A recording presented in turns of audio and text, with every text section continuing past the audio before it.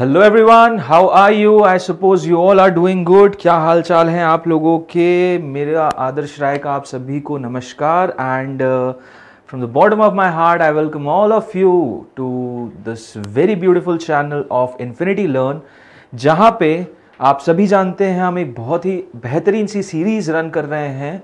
जिसमें आपको ये आपके जो लास्ट के डेज़ हैं नीट 2023 से पहले के उसमें आपको एक बहुत ही एक्यूरेट तरीके से प्योर रिवीजन मिल सके ताकि आपकी तैयारी एकदम रॉक सॉलिड हो सके साथ ही साथ आप एकदम एग्ज़ाम प्रिपेयर्ड हो पाओ ठीक है? आपके अंदर वो एक कॉन्फिडेंस बिल्डिंग हो जाए। देखो लास्ट के डेज़ में यार बहुत सारे थॉट्स uh, आते हैं एंड uh, कुछ कुछ मोटिवेटिंग कुछ कुछ डिमोटिवेटिंग एंड डिमोरलाइजिंग थॉट्स भी होते हैं बट हमें इन सारी चीज़ों से दूर रहना है। We just need to follow a very simple pattern एक सात्विक लाइफ स्टाइल फॉलो करनी है हमको जिसमें we don't have to indulge into any any compulsions साथ ही साथ हमें किसी से uh, बिल्कुल भी इन्फ्लुएंस uh, नहीं होना है।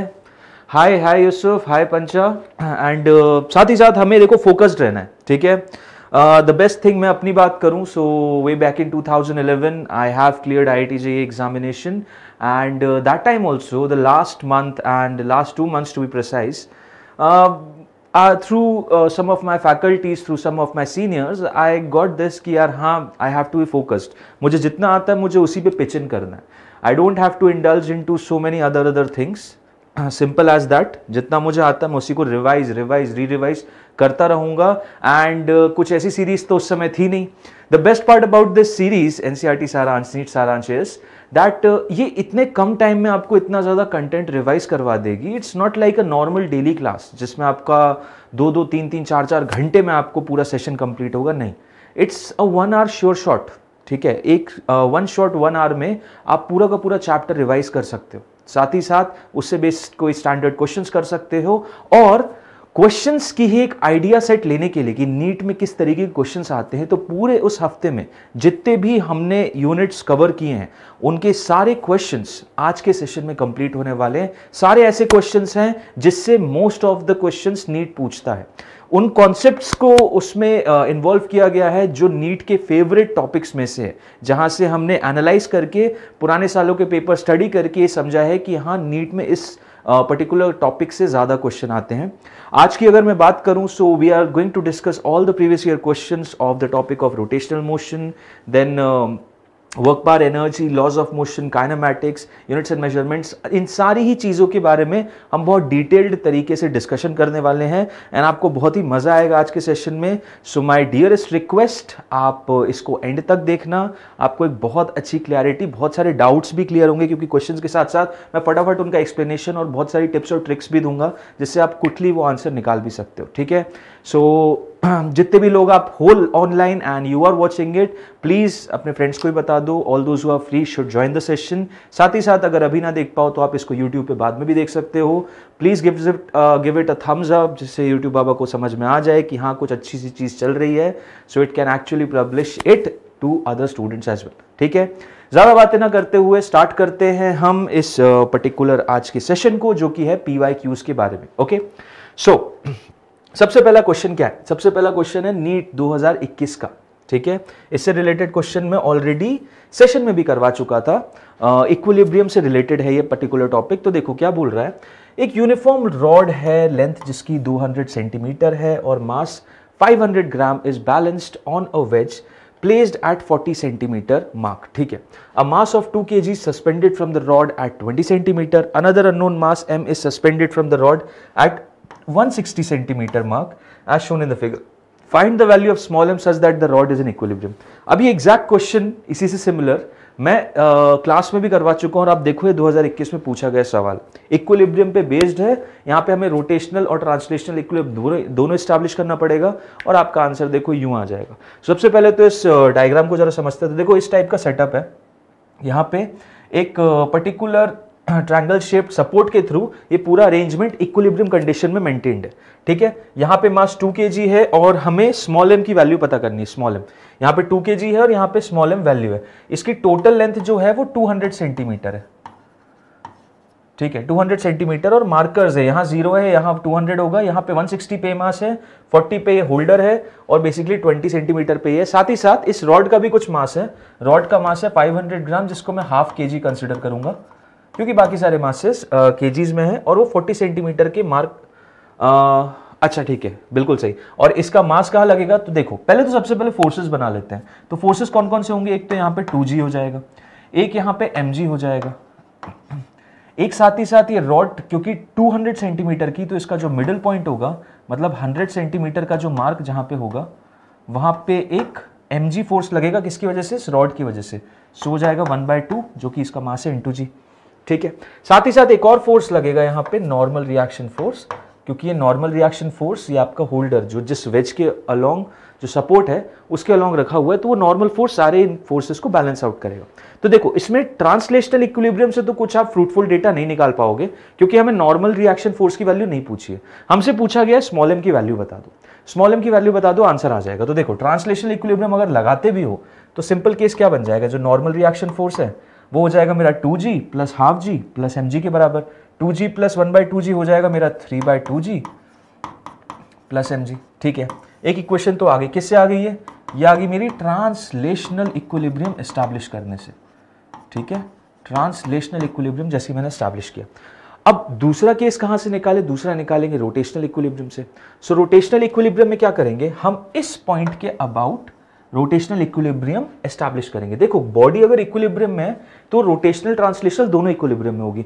तो आप किसी भी एक पॉइंट के अबाउट रोटेशनल इक्विलिब्रियम एस्टैब्लिश कर सकते हो। वो चाहे ये पॉइंट हो, ये हो ये हो ये हो, एक फोर्स से पास होने वाले उस पॉइंट के अबाउट ही निकालना। बेनिफिट ये हो जाता है, उसकी वजह से टॉर्क ज़ीरो हो जाता है तो एक कैलकुलेशन थोड़ी हल्की पड़ जाती है, ठीक है?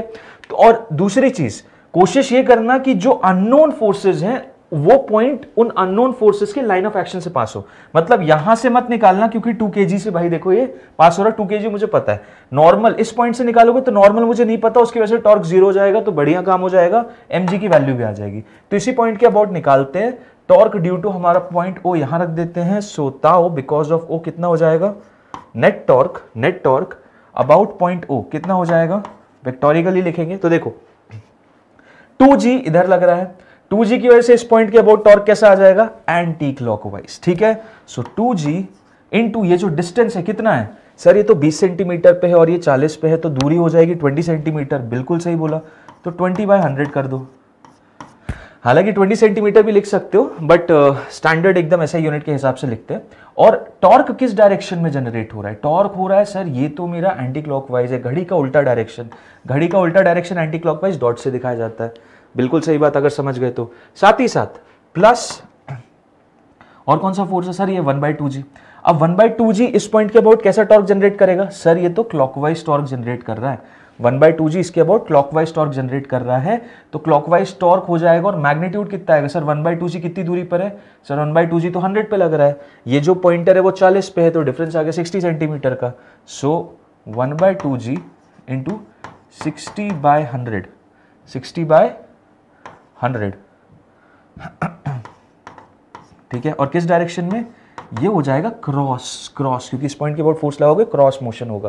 क्रॉस डायरेक्शन में एंगुलर वो, नेट टॉर्क जनरेट होगा। साथ ही साथ इस एम की वजह से कितना ये 160 पे, ये 40 पे तो 120 का गैप आ गया प्लस एम जी इंटू एक सौ साठ में एक चालीस गया 120 ट्वेंटी बाय हंड्रेड, और ये किस डायरेक्शन में? ये भी क्रॉस। और ये पूरा मिला के किसके बराबर है? ज़ीरो के बराबर। ये सब मिला दोगे तो किसके बराबर आ जाएगा? ज़ीरो के बराबर। ठीक है सर, ओके, डन। ये हमने क्या एस्टैब्लिश किया है यार? ये एस्टैब्लिश किया हमने rotational equilibrium okay sir perfect अब देखो, सौ सौ सौ cancel G G G cancel और क्या कैंसिल हो रहा है? और कुछ कैंसिल हो रहा है? हाँ जी, और भी कुछ कैंसिल हो रहा है। देखो, ये बीस, ये तीन से जाएगा, ये बीस छः से जाएगा। ओके सर, बढ़िया। उसके बाद ये डॉट को क्रॉस करके मैं उधर राइट हैंड साइड पे ले जाता हूँ तो फाइनली देखो यहाँ क्या बचेगा। और साथ ही साथ उसको ही नहीं, इसको भी ले जाता हूँ, इसको भी ले जाता हूँ। तो यहाँ देखो क्या बच रहा है टू ये टू बच रहा है, और यहाँ क्या बच रहा है three by two so two उधर जाएगा माइनस टू से two minus three by two so one by two answer आ जाएगा। समझ रहे हो बात को? सो so बेसिकली क्या आ जाएगा? Six m is equal to one by two तो एम की वैल्यू कितनी आ गई? एम की वैल्यू आ जाएगी वन बाय ट्वेल्व के ठीक है, यही आंसर आया था। ऑप्शन है क्या? हाँ जी सर, बिल्कुल ऑप्शन है मेरा। Option number D. ठीक है, option number D is the correct answer. And I think आपको ये समझ में आ चुका है। ये same type of a question हमने सॉल्व किया है किसमें? रोटेशनल इक्विलिब्रियम मतलब system of particle and rotational motion का पार्ट टू में। उसमें जाके देखोगे तो मैंने इक्विलिब्रियम के बारे में डिस्कशन किया है। आपको वहाँ पे ये चीज़ पूरी श्योर शॉर्ट समझ में भी आ जाएगी और कोई डाउट आता है तो भी समझ में आ जाएगा। ठीक है? ओके सर आगे बढ़ते हैं नेक्स्ट सवाल की तरफ़ जो कि CBSE A I P M T दो हज़ार मतलब जब नीट नहीं था A I P M T का एग्ज़ाम होता था तब पूछा गया था। ठीक। क्या क्वेश्चन है? टफ नहीं है बहुत इजी है यार बहुत इजी मैं तुम्हें ये यही तो एक बस्ट करूँगा ये मिथ को कि यार फिजिक्स बहुत ज़्यादा टफ आती है। फिजिक्स बिल्कुल टफ नहीं आती। फिजिक्स टफ आपको लगती है और टफ इसलिए लगती है बेसिकली क्योंकि आपने फिजिक्स को मेमोराइज करने की कोशिश की। फिजिक्स ऐसा सब्जेक्ट है नहीं जिसको मेमोराइज करो। समझ लो कुछ फॉर्मुलेज मेमोराइज कर लो जो कि ईजी दे बट उनका रूट कॉज ज़रूर समझो कि कैसे आए वो फॉर्मूला ओके ठीक है। Escape velocity from the earth is 11.2 km per second. Obviously, another planet of same mass has radius 1 by 4th times that of the earth. What is the escape velocity from another, from this particular planet, this another planet which has the radius as 1 by 4th, but the mass is same. Same है but radius one by fourth हो गया. तो escape velocity पे क्या फ़र्क पड़ने वाला है? तो एस्केप वेलोसिटी का फॉर्मुलेशन पता है क्या? बिल्कुल पता है sir under root of two G M by R होता है. ठीक है. Mass same G same too बिल्कुल नहीं चेंज हो रहा. किससे इन्वर्सली रिलेटेड है? आर से. सो so, यहाँ से क्या समझ सकता हूँ? V escape escape velocity one by root R के डायरेक्टली प्रोपोर्शनल है। अब मैंने इसी से क्यों लिया? क्योंकि यहाँ पे मास का कोई एलिमेंट है ही नहीं। मास तो सेम ही है ना दोनों प्लैनेट का। और जी तो चेंज हो ही नहीं सकता। तो वेरिएशन बस आर की वजह से होंगे ठीक है? पहले वाले में 11.2 है दूसरे वाले में कितनी हो जाएगी? जब रेडियस उसका एक बटा चार हो जाएगा। सिंपल सा रिलेशन है वो देख लिया आपने। इसको इस तरीके से कर लो कि v one is two v two will be equal to under root of R two is two R one तो पहले प्लानिट की 11.2 है। दूसरे की पता करनी है। ठीक है? दूसरे का रेडियस कितना है? वन बाय फोर्थ है। तो one by fourth times R one और divided by R one R one R one cancel हो जाएगा। वन बाय फोर का वन बाय टू हो जाएगा। इलेवन पॉइंट टू पर मल्टीप्लाई होगा तो वी टू की वैल्यू कितनी आ गई? एस्केप वेलोसिटी आ जाएगी twenty two point four K M P S ठीक है? किलोमीटर पर second So do we have an option? Yes, we have an option. That's option number C. And I suppose it's crystal clear. Formula है formula पे based variation देखना है simple सा step कोई दिक्कत ही नहीं ठीक है ओके सर ग्रेविटेशन का क्वेश्चन था अब ग्रेविटेशन में एस्केप वेलोसिटी का। अब देख तुम ये टॉपिक्स देखते जाना समझते जाना पहला मैंने इक्विलिब्रियम एस्टैब्लिश किया रोटेशनल से ठीक है? बहुत हॉट टॉपिक है। दूसरा एस्केप वेलोसिटी का क्वेश्चन लाया ग्रेविटेशन से। ये भी बहुत हॉट टॉपिक है। सो so, मैं टॉपिक्स भी बताता चाहूँगा you should just keep them in mind कि ये टॉपिक्स हाँ इंपॉर्टेंट है। इससे क्वेश्चन आए हैं पुराने सालों में। Next a rope is wound around a hollow cylinder of mass three K okay and radius 40 centimeter, what is the angular acceleration of the cylinder if the rope is pulled with a force of 30 Newton? ठीक है okay so this is a hollow cylinder ये रहा एक hollow cylinder इस hollow cylinder का mass कितना है? The mass of this hollow cylinder is three के साथ ही साथ इसका रेडियस भी दे रखा है। हाँ जी सर बिल्कुल इसका रेडियस दे रखा है 40 centimetre okay very good 40 centimetre radius दे दिया। What is going to be the angular acceleration of the cylinder if the rope is pulled with a force of 30 newton अब ये रोप जो है, इसके चारों तरफ़ तुमने घुमा घुमा घुमा के फाइनली रोप कुछ इस तरीके से निकाल दी। फाइनली रोप कुछ इस तरीके से निकाल दी, अभी जो रोप है, नीचे की तरफ़ इसको फोर्स लगा रहे हो तुम कितने का? 30 न्यूटन का। ओके सर गुड 30 न्यूटन का फोर्स लगा रहे हो। अभी 30 न्यूटन से कुछ नेट टॉर्क जनरेट होगा।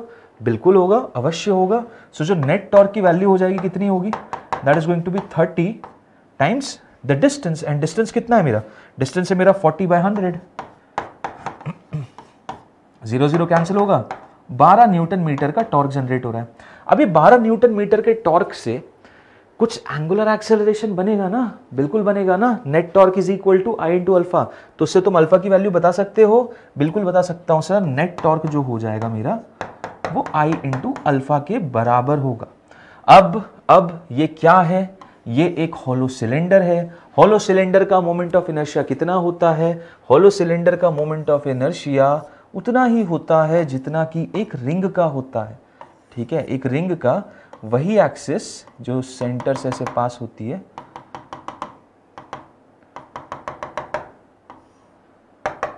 जितना कि एक रिंग का होता है मोमेंट ऑफ़ इनर्शिया, इसी एक्सिस के अबाउट। ये याद रखना है हमेशा इस रिंग के परपेंडिकुलर होती है। रिंग के परपेंडिकुलर होती है, उसके प्लेन में लाई नहीं करती। इसके अबाउट और यही हॉलो सिलेंडर का जो मोमेंट ऑफ़ इनर्शिया होता है that is M R square okay? The moment of inertia is mr square so place that mr square over here the net torque is how much? The net torque is 12 so 12 will be equal to m R square और mass M R की value दी रखी है तो फिर finally रखते ना, क्योंकि हमें अल्फ़ा पता करना है यार। हमें एक्चुअल वैल्यू पता करनी है तो मास कितना दिया हुआ है? थ्री के जीज रेडियस कितना दिया हुआ है सर फोर्टी बाय हंड्रेड का whole square into alpha okay sir ठीक है ठीक है परफेक्ट बढ़िया।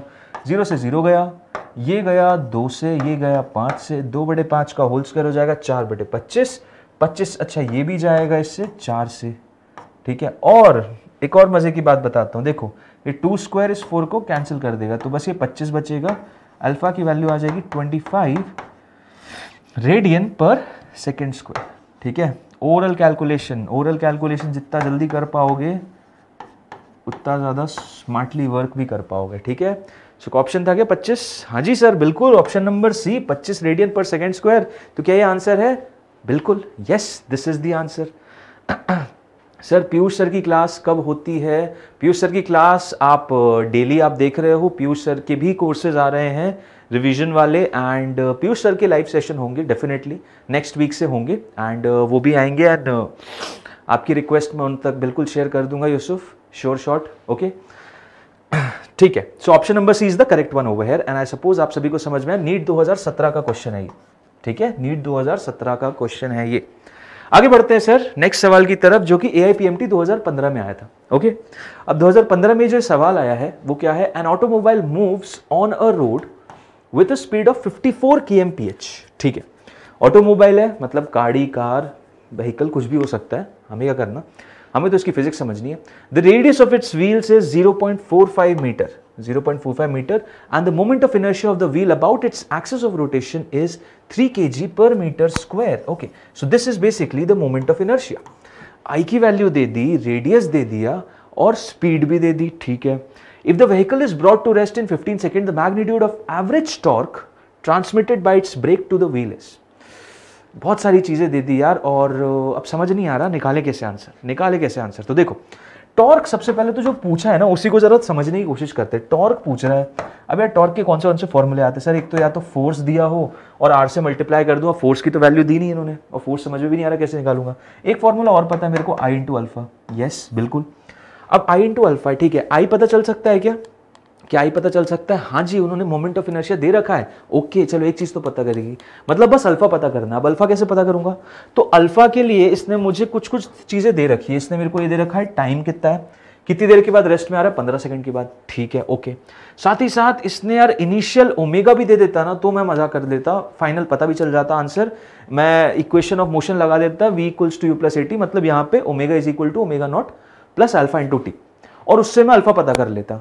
अब इसने ओमेगा दिया नहीं। अब ओमेगा दिया नहीं, लेकिन इसने एक बड़ी मस्त चीज़ बताई है कि ऑटोमोबाइल जो मूव कर रहा है, उसकी वेलोसिटी बता दी 54 four K M P H अब ऑटोमोबाइल की जो वेलोसिटी है, वो किसकी वेलोसिटी होगी? सोचो जरा इस चीज़ को। Automobile two wheeler three wheeler four wheeler जो भी है सेवन टेन व्हीलर्स हो, वो आगे की तरफ़ बढ़ रही है। It's moving with 54 four K M P H that means if you focus towards any of the tyres on of the automobile जो कि ऑब्वियसली प्योर रोलिंग कंडीशन में है गाड़ियाँ जब मूव होती है ना तो प्योर रोलिंग कंडीशन में ही मूव होती हैं। गाड़ियाँ कभी भी आपका स्लाइडिंग और स्किडिंग इफ़ेक्ट के साथ नहीं मूव होती। सो so, क्योंकि गाड़ियाँ प्योर रोलिंग के साथ चल रही है मतलब वो आगे की तरफ़ बढ़ रही है 54 के एमपीएच से। तो उसका जो ओमेगा होना चाहिए वो कुछ इसी हिसाब से होना चाहिए ताकि ये उसके सेंटर ऑफ़ मास की वेलोसिटी हो गई। ये आपका क्या हो गया? वीसी हो गया। तो वीसी बाय आर से रिलेट हो जाए। तो इससे तुम ये पता कर सकते हो कि इनिशियल एंगुलर वेलोसिटी कितनी थी। और फाइनली तो रेस्ट पे आना ही है। तो इनिशियल एंगुलर वेलोसिटी इससे पता करेंगे। फाइनल रेस्ट है तो क्या अल्फ़ा नहीं बता देंगे? अल्फ़ा बता देंगे और अल्फ़ा को फिर इधर रखेंगे तो नेट टॉर्क भी पता चल जाएगा। यहाँ से तुम्हें अप्रोच पता चला क्वेश्चन को कैसे करना है। अब इस क्वेश्चन को आप फटाफट करते हैं, ठीक है? सो ओमेगा की वैल्यू कितनी हो जाएगी? Omega will be equal to जो भी वेलोसिटी थी 54 फोर के अच्छा इसको यार पहले मीटर पर सेकंड में करो क्योंकि ऐसा ही यूनिट में रखना चाहिए। So K M P H को जब कभी भी के एम पी एच को मुझे अगर मीटर पर सेकंड में करना रहता है तो किससे मल्टीप्लाई करना रहता है? फाइव बाय एटीन से।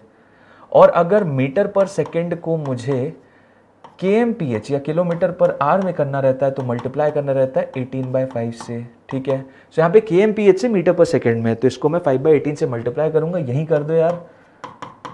यहीं कर दो। 18 थ्री ज़ा ये जाता है ये हो गया 15 मीटर पर सेकेंड ठीक है? सो वेलोसिटी पता चल गई? Velocity is 15 divided by r. What is the radius of the wheels? It's 0.45 meter. Okay so 0.45 so 45 by 100 ले लेते हैं।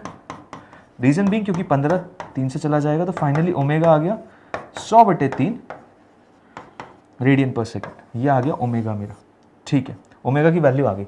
अब ओमेगा आ गया तो finally equation of motion use करना है और इक्वेशन ऑफ़ मोशन यूज़ कर लूँगा तो मेरा आंसर यूँ आ जाएगा। देखो V equals to U plus at so omega is equal to omega naught plus alpha into T final zero है इनिशियल कितना आ गया? Hundred by three so hundred by three plus alpha into time कितना है? कितनी देर में रोकना है? पंद्रह सेकेंड में सर सो फिफ्टीन सेकेंड्स ठीक है. यहाँ से अल्फ़ा की वैल्यू कितनी आ रही है? अल्फ़ा ऑब्वियसली नेगेटिव ही आएगा. नेगेटिव तो आना ही है, क्योंकि एंगुलर एक्सेलरेशन जो होगा, वो नेगेटिव होगा. Negative in the direction of angular velocity तभी तो डी एक्सेलरेटिंग इफ़ेक्ट क्रिएट कर पाएगा. तो यहाँ से देखो, क्या वैल्यू आ रही है? अल्फ़ा की वैल्यू आ जाएगी मेरी hundred by forty five minus of hundred by forty five और ये आ गया मेरा अल्फ़ा तो नेट टॉर्क मैं बता सकता हूँ नेट टॉर्क की वैल्यू कितनी है? आई की वैल्यू दे रखी है इन्होंने. Three k g per metre square उसको इधर मल्टीप्लाई कर दो तो देखो नेट टॉर्क भी पता चलेगा। नेट टॉर्क की वैल्यू आ जाएगी minus of hundred by forty five into three ये से जाएगा पंद्रह से सो अल्टीमेटली वही माइनस हंड्रेड बाय फिफ्टीन आ गया। ये पाँच तीन, ये पाँच बीस minus six point six six something आ रही है। Minus six point six six newton metre ठीक है? नेगेटिव बस ये दिखा रहा है कि डी एक्सेलरेटिंग इफ़ेक्ट है। तो हमें नेगेटिव पे फोकस नहीं करना, हमें मैग्नीट्यूड पे फोकस करना है। ना सपोज़ मैग्नीट्यूड आप सभी को दिख गया है। That is equal to how much that is equal to 6.66 6.66 is going to be the magnitude of the net average torque which is generated over here, okay? So I think ये पूरी चीज़, पूरा analysis आपको clear है। थोड़ा सा calculative था but अगर आपको अप्रोच समझ में आई तो आप फटाफट कर सकते हो। तो ये कौन सा टॉपिक है? ये है टॉर्क कैलकुलेशंस के टॉपिक जहाँ पे equation of motion and rotational motion कैसे यूज़ होती है? उनका यूजेज होता है। इससे रिलेटेड क्वेश्चंस भी आप बहुत ज़्यादा देख पाओगे। जिसमें आपको इनिशियल एंगुलर वेलोसिटी दे दी फाइनल एंगुलर वेलोसिटी पूछ रहे हैं। तो then how you are going to interpret the data and finally use equation of motion to get to the final result okay ठीक है सर ओके आगे बढ़ते हैं। नेक्स्ट सवाल की तक मज़ा आया A I P M T दो हज़ार पंद्रह का सवाल था। ओके नेक्स्ट क्वेश्चन क्या है? नेक्स्ट क्वेश्चन बड़ा ब्यूटीफुल है बड़ा मज़ेदार है और क्रॉस uh, प्रोडक्ट का इसमें बहुत अच्छा यूजेज है ठीक है? 2018 नीट में पूछा गया क्वेश्चन क्या है ये question the moment of force F is equal to four I cap plus five J cap minus six K cap at इस पॉइंट पे फोर्स लग रहा है ठीक है? पॉइंट कौन सा है? पॉइंट ये रहा। Two comma zero comma minus three. इस पॉइंट पे ये फोर्स लग रहा है और मुझे टॉर्क बताना है किसके अबाउट इस पॉइंट के अबाउट इस पॉइंट के अबाउट तो यही मज़ेदार क्वेश्चन है इसमें, ठीक है? यहाँ पे मज़ेदार चीज़ ये है इस क्वेश्चन में कि आपका ओ पॉइंट जो है वो ये रहा। Two comma minus two, comma minus two. इस पॉइंट के अबाउट मुझे टॉर्क पता करना है और टॉर्क पता करना है टॉर्क कहाँ लग रहा है? इस पॉइंट पे लग रहा है, ठीक है? अब इस पॉइंट के पोजिशन कोऑर्डिनेट्स क्या है? इसके हैं two comma zero comma minus three ठीक है? और टॉर्क फोर्स कैसा लग रहा है? फोर्स कोई से भी एक डायरेक्शन ये रहा फोर्स फोर्स ये रहा, और इसका मैग्नीट्यूड मैग्नीट्यूड नहीं वेक्टर का है फोर आई क्या प्लस फाइव जे क्या माइनस सिक्स के क्या। अब बताओ जरा टॉर्क का रिलेशन क्या होता है? टॉर्क का रिलेशन क्या होता है? Tau is equal to R cross F होता है। एफ़ क्रॉस आर नहीं आर क्रॉस एफ़ होता है, ठीक है? अब आर क्रॉस एफ़ निकालने के लिए आपको क्या करना पड़ेगा? इस पॉइंट के अबाउट टॉर्क पता करना है ना तो इसके रेफरेंस में इसका पोजीशन वेक्टर बताना पड़ेगा। इसके रेफरेंस में इसका पोजीशन वेक्टर यानी ये बताना पड़ेगा। अब ये आर वेक्टर कैसे बताऊँ? आर वेक्टर कैसे समझ में आएगा? So R vector is going to be whatever is the final position minus the initial position simple मतलब आर वेक्टर अगर मुझे डिफाइन करना है तो फाइनल माइनस इनिशियल कर दूँगा I cap J cap K cap के फॉर्म में तो मुझे पोजीशन वेक्टर पता चल जाएगा। ओके सो फाइनल पॉइंट क्या है? फाइनल ये रहा। टू माइनस टू, यानी ज़ीरो आई कैप। ओके, बढ़िया। Zero minus of minus two, यानी कि प्लस टू जे कैप, ठीक है। Minus three, minus of minus two, यानी plus two. So minus three plus two is minus K cap. ये आ गया बॉस मेरा पोजीशन वेक्टर अब पोजीशन वेक्टर मिल गया टॉर्क वेक्टर मिल गया। तो अब क्या मैं फाइनल आंसर निकाल सकता हूँ? हाँ जी, आप बिल्कुल अब आंसर निकाल सकते हो। अब आपको आर क्रॉस एफ़ करना है और आपका तुरंत आंसर आ जाएगा। ठीक है, okay. So R cross F करते हैं। आर क्रॉस एफ़ करते हैं। नेट टॉर्क कितना है मेरा? आर क्रॉस एफ़ हालाँकि हम ओरली भी कर सकते हैं और आप डिटर्मिनेंट मेथड से करना चाहो तो ऐसे भी कर सकते हो। देखो डिटर्मिनेंट मेथड से करके देखते हैं। आर वेक्टर कितना है? आर वेक्टर है two J cap minus K cap two J cap minus K cap और दूसरा क्या है? Four I cap plus five J cap minus six cap four I cap plus five J cap minus six K cap ठीक है cross करना है। Cross के लिए क्या करें? डिटर्मिनेंट बताओ। सबसे पहला आई जे के ये हो जाएगा ज़ीरो ये हो गया टू ये हो गया माइनस वन ये हो गया फोर ये हो गया फाइव और ये क्या हो गया? ये हो गया माइनस सिक्स ठीक है। सो आर क्रॉस एफ़ करेंगे सबसे पहले। I vector I vector minus twelve minus of minus five so minus twelve plus five minus twelve plus five is minus seven ठीक है? माइनस सेवन देखो दो ऑप्शंस तो यहीं पे एलिमिनेट हो गए। ये वाला ऑप्शन रह गया। बस अब मैं सेकेंड वाला बता दूँगा तो यू मेरा आंसर भी आ जाएगा। ठीक है? ओके आई क्या पता चल गया। अब आ, प्लस जे क्या? प्लस जे क्या पता करने के लिए क्या करेंगे? Minus one into four minus one into four फिर उसके बाद minus zero into minus six समझ में आया? Minus one into four minus zero into minus six so minus one into four कितना हो जाएगा? माइनस फोर क्लियर है? ऑप्शन है क्या? यस देखो, ये रहा मेरा ऑप्शन और यही मेरा आंसर भी है। समझ में आया? तो माइनस फोर जे कैप यहाँ से आ गया क्लियर है? अब के कैप करते हैं। के कैप करोगे तो zero into five minus of two into four so zero into five हो गया zero minus of eight so minus eight इधर आ गया। सो फाइनली आंसर कितना आ रहा है? Minus seven I cap minus four J cap minus eight K cap कौन सा ऑप्शन है? भाई लोगों, बताओ कौन सा ऑप्शन दिख रहा है? हाँ जी ऑप्शन नंबर डी दिख रहा है। तो आप चाहो तो थर्ड के कैप वाला निकालते भी नहीं ना तो भी आंसर आ जाता। समझ रहे हो? ये आप निकालते भी नहीं तो भी आंसर आ जाता, क्योंकि देखो, दो से ये मैं फटाफट फिर ऑप्शन को देखूँगा ऑप्शन को देखूँगा और एलिमिनेट करके आंसर निकालूँगा। सेव योर टाइम नीट में यही चीज़ बहुत ज़्यादा किलिंग है, कि टाइम क्रंच बहुत ज़्यादा है। You need to be very quick you need to be very quick otherwise you have just lot so crucial time of yours okay so time is going to be a very precious and an important element in the NEET exam. Trust me on that. That's that's the main thing. That's what uh, kills the entire market. ठीक है पूरा का पूरा competition जो है ना वो वहीं से आ जाता है कि आप कितने क्विक हो क्विक हो तो आप फटाफट निकाल लोगे ठीक है 180 क्वेश्चन करना है यार तीन घंटे में सोचो एक मिनट मिलता है एक क्वेश्चन का बस कैसे हो पाएगा प्रॉब्लम है ना यार बहुत ज़्यादा प्रॉब्लम है और कुछ ऐसे ऐसे क्वेश्चन आ गए तो ऐसा क्वेश्चन आ गया, पिछले वाला क्वेश्चन आ गया। So you need to be very very quick you need to have that particular vision of yours कि मुझे क्वेश्चन करना है कि नहीं करना। आपको ये तक समझ में आना चाहिए। अगर ज़्यादा कैलकुलेटिव लग रहा है, देखो, मैं तो क्लियर एडवाइस करूँगा, छोड़ देना। फिजिक्स में अगर आपको कैलकुलेटिव लग रहा है तो आप छोड़ देना। ठीक है? बट जो चीज़ आपको दिख रही है कि नहीं ये तो हो सकती है, मुझे पता है, और वन मिनट के अंदर हो सकती है, आपको पता चल जाएगा, ठीक है? यही तो इसीलिए तो सेशन से आपको दिखाने के लिए so you should when while you looking at this pause करो, आप खुद उसको ट्राई करने की कोशिश करो। ट्राई करो you will get an idea कि यार हाँ यार, ये क्वेश्चन मेरे से इतनी देर में हो पाया कि नहीं। ठीक है? So this is the correct answer and I suppose आप सभी को समझ में आ गया। नेक्स्ट क्वेश्चन की तरफ़ चलते हैं। बड़ा अच्छा क्वेश्चन है ये भी। नीट 2013 का है और ये भी देखो, ये क्वेश्चन जो है, ये नेट टॉर्क से रिलेटेड है। ठीक है? नेट टॉर्क से एंगुलर एक्सेलरेशन से रिलेटेड है। Okay rod P Q of mass M and length L is hinged at end P P end पे हिंज कर दिया। हिंज मतलब कील ठोक दिए यहाँ पे कील ठोक दी, ये एंड पी है। Okay okay. और the rod is kept horizontal by a massless string tied to a point Q यहाँ क्यू पे एक स्ट्रिंग को टाई कर रखा है और जिसकी हेल्प से ये पूरी की पूरी रॉड जो है एक हॉरिजॉन्टल पोजीशन में एस्टैब्लिश्ड है। ठीक है? ये हॉरिजॉन्टल पोजीशन में। The rod is kept horizontal by a massless string tied to a point Q as shown in figure. When string is cut, the initial angular acceleration of the rod is. अब इस string को उन्होंने फट्टे से cut कर दिया। इस string को उन्होंने कट कर दिया। अब स्ट्रिंग को जैसे ही कट किया तो होगा क्या? कि रॉड नीचे की तरफ़ गिरेगी। ऑब्वियस है यार, ये तो हम सभी जानते हैं, नीचे की तरफ़ गिरेगी। बट वो नीचे गिरते समय उसका जो पहला इनिशियल एक्सेलरेशन होगा, वो कितना होगा, ये बताना है। कोई दिक्कत नहीं नो प्रॉब्लम बता देते हैं, फटाफट बता देते हैं। आप बोलोगे तो हमें टेंशन भी बता देंगे। आप पूछोगे हमसे तो ये टेंशन भी हम बता देंगे। यहाँ पे एम लग रहा है। यहाँ पे एक टेंशन फोर्स लग रहा है और यहाँ पे एक हिंज फोर्स लग रहा है ऊपर या नीचे की तरफ़ और उसकी वजह से पूरा अरेंजमेंट सेटिस्फाइड है, पूरा रेस्ट पे बैठा हुआ है। तो आप पूछोगे तो इस सिचुएशन में हम टेंशन भी बता देंगे, लेकिन आप पूछ हमसे एक्सेलरेशन के बारे में तो हम वही बताएँगे। चलो सपोज़ करो ये कट कर दी, ये कट कर दी, अब यहाँ पे कोई टेंशन फोर्स नहीं लग रहा। तो कौन सा फोर्स लगेगा? एक तो फोर्स लगेगा एम और एक फोर्स लग रहा होगा हिंज का। अब हिंज का फोर्स कितना होगा यार? हिंज का फोर्स कितना होगा? और जितना भी होगा जितना भी होगा तो मुझे उससे मतलब भी नहीं रीजन भी, क्योंकि जो रोटेशन होगा ना रॉड का वो हिंज के अबाउट होगा। तो हिंज की वजह से कोई भी फोर्स होगा, उसकी वजह से नेट टॉर्क तो ज़ीरो ही हो जाएगा। ठीक है?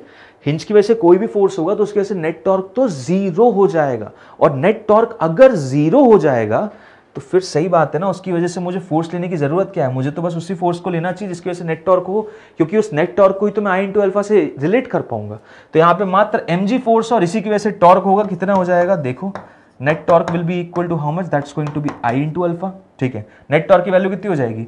M G M G into axis of rotation ये रहा मेरा एक्सेस ऑफ़ रोटेशन इससे दूरी कितनी है बॉस इससे दूरी है मेरी L by two so M G into L by two M G into L by two किस डायरेक्शन में है? क्लॉकवाइज यार क्लॉकवाइज हालाँकि ज़रूरत नहीं है but still you should know कि क्लॉकवाइज है।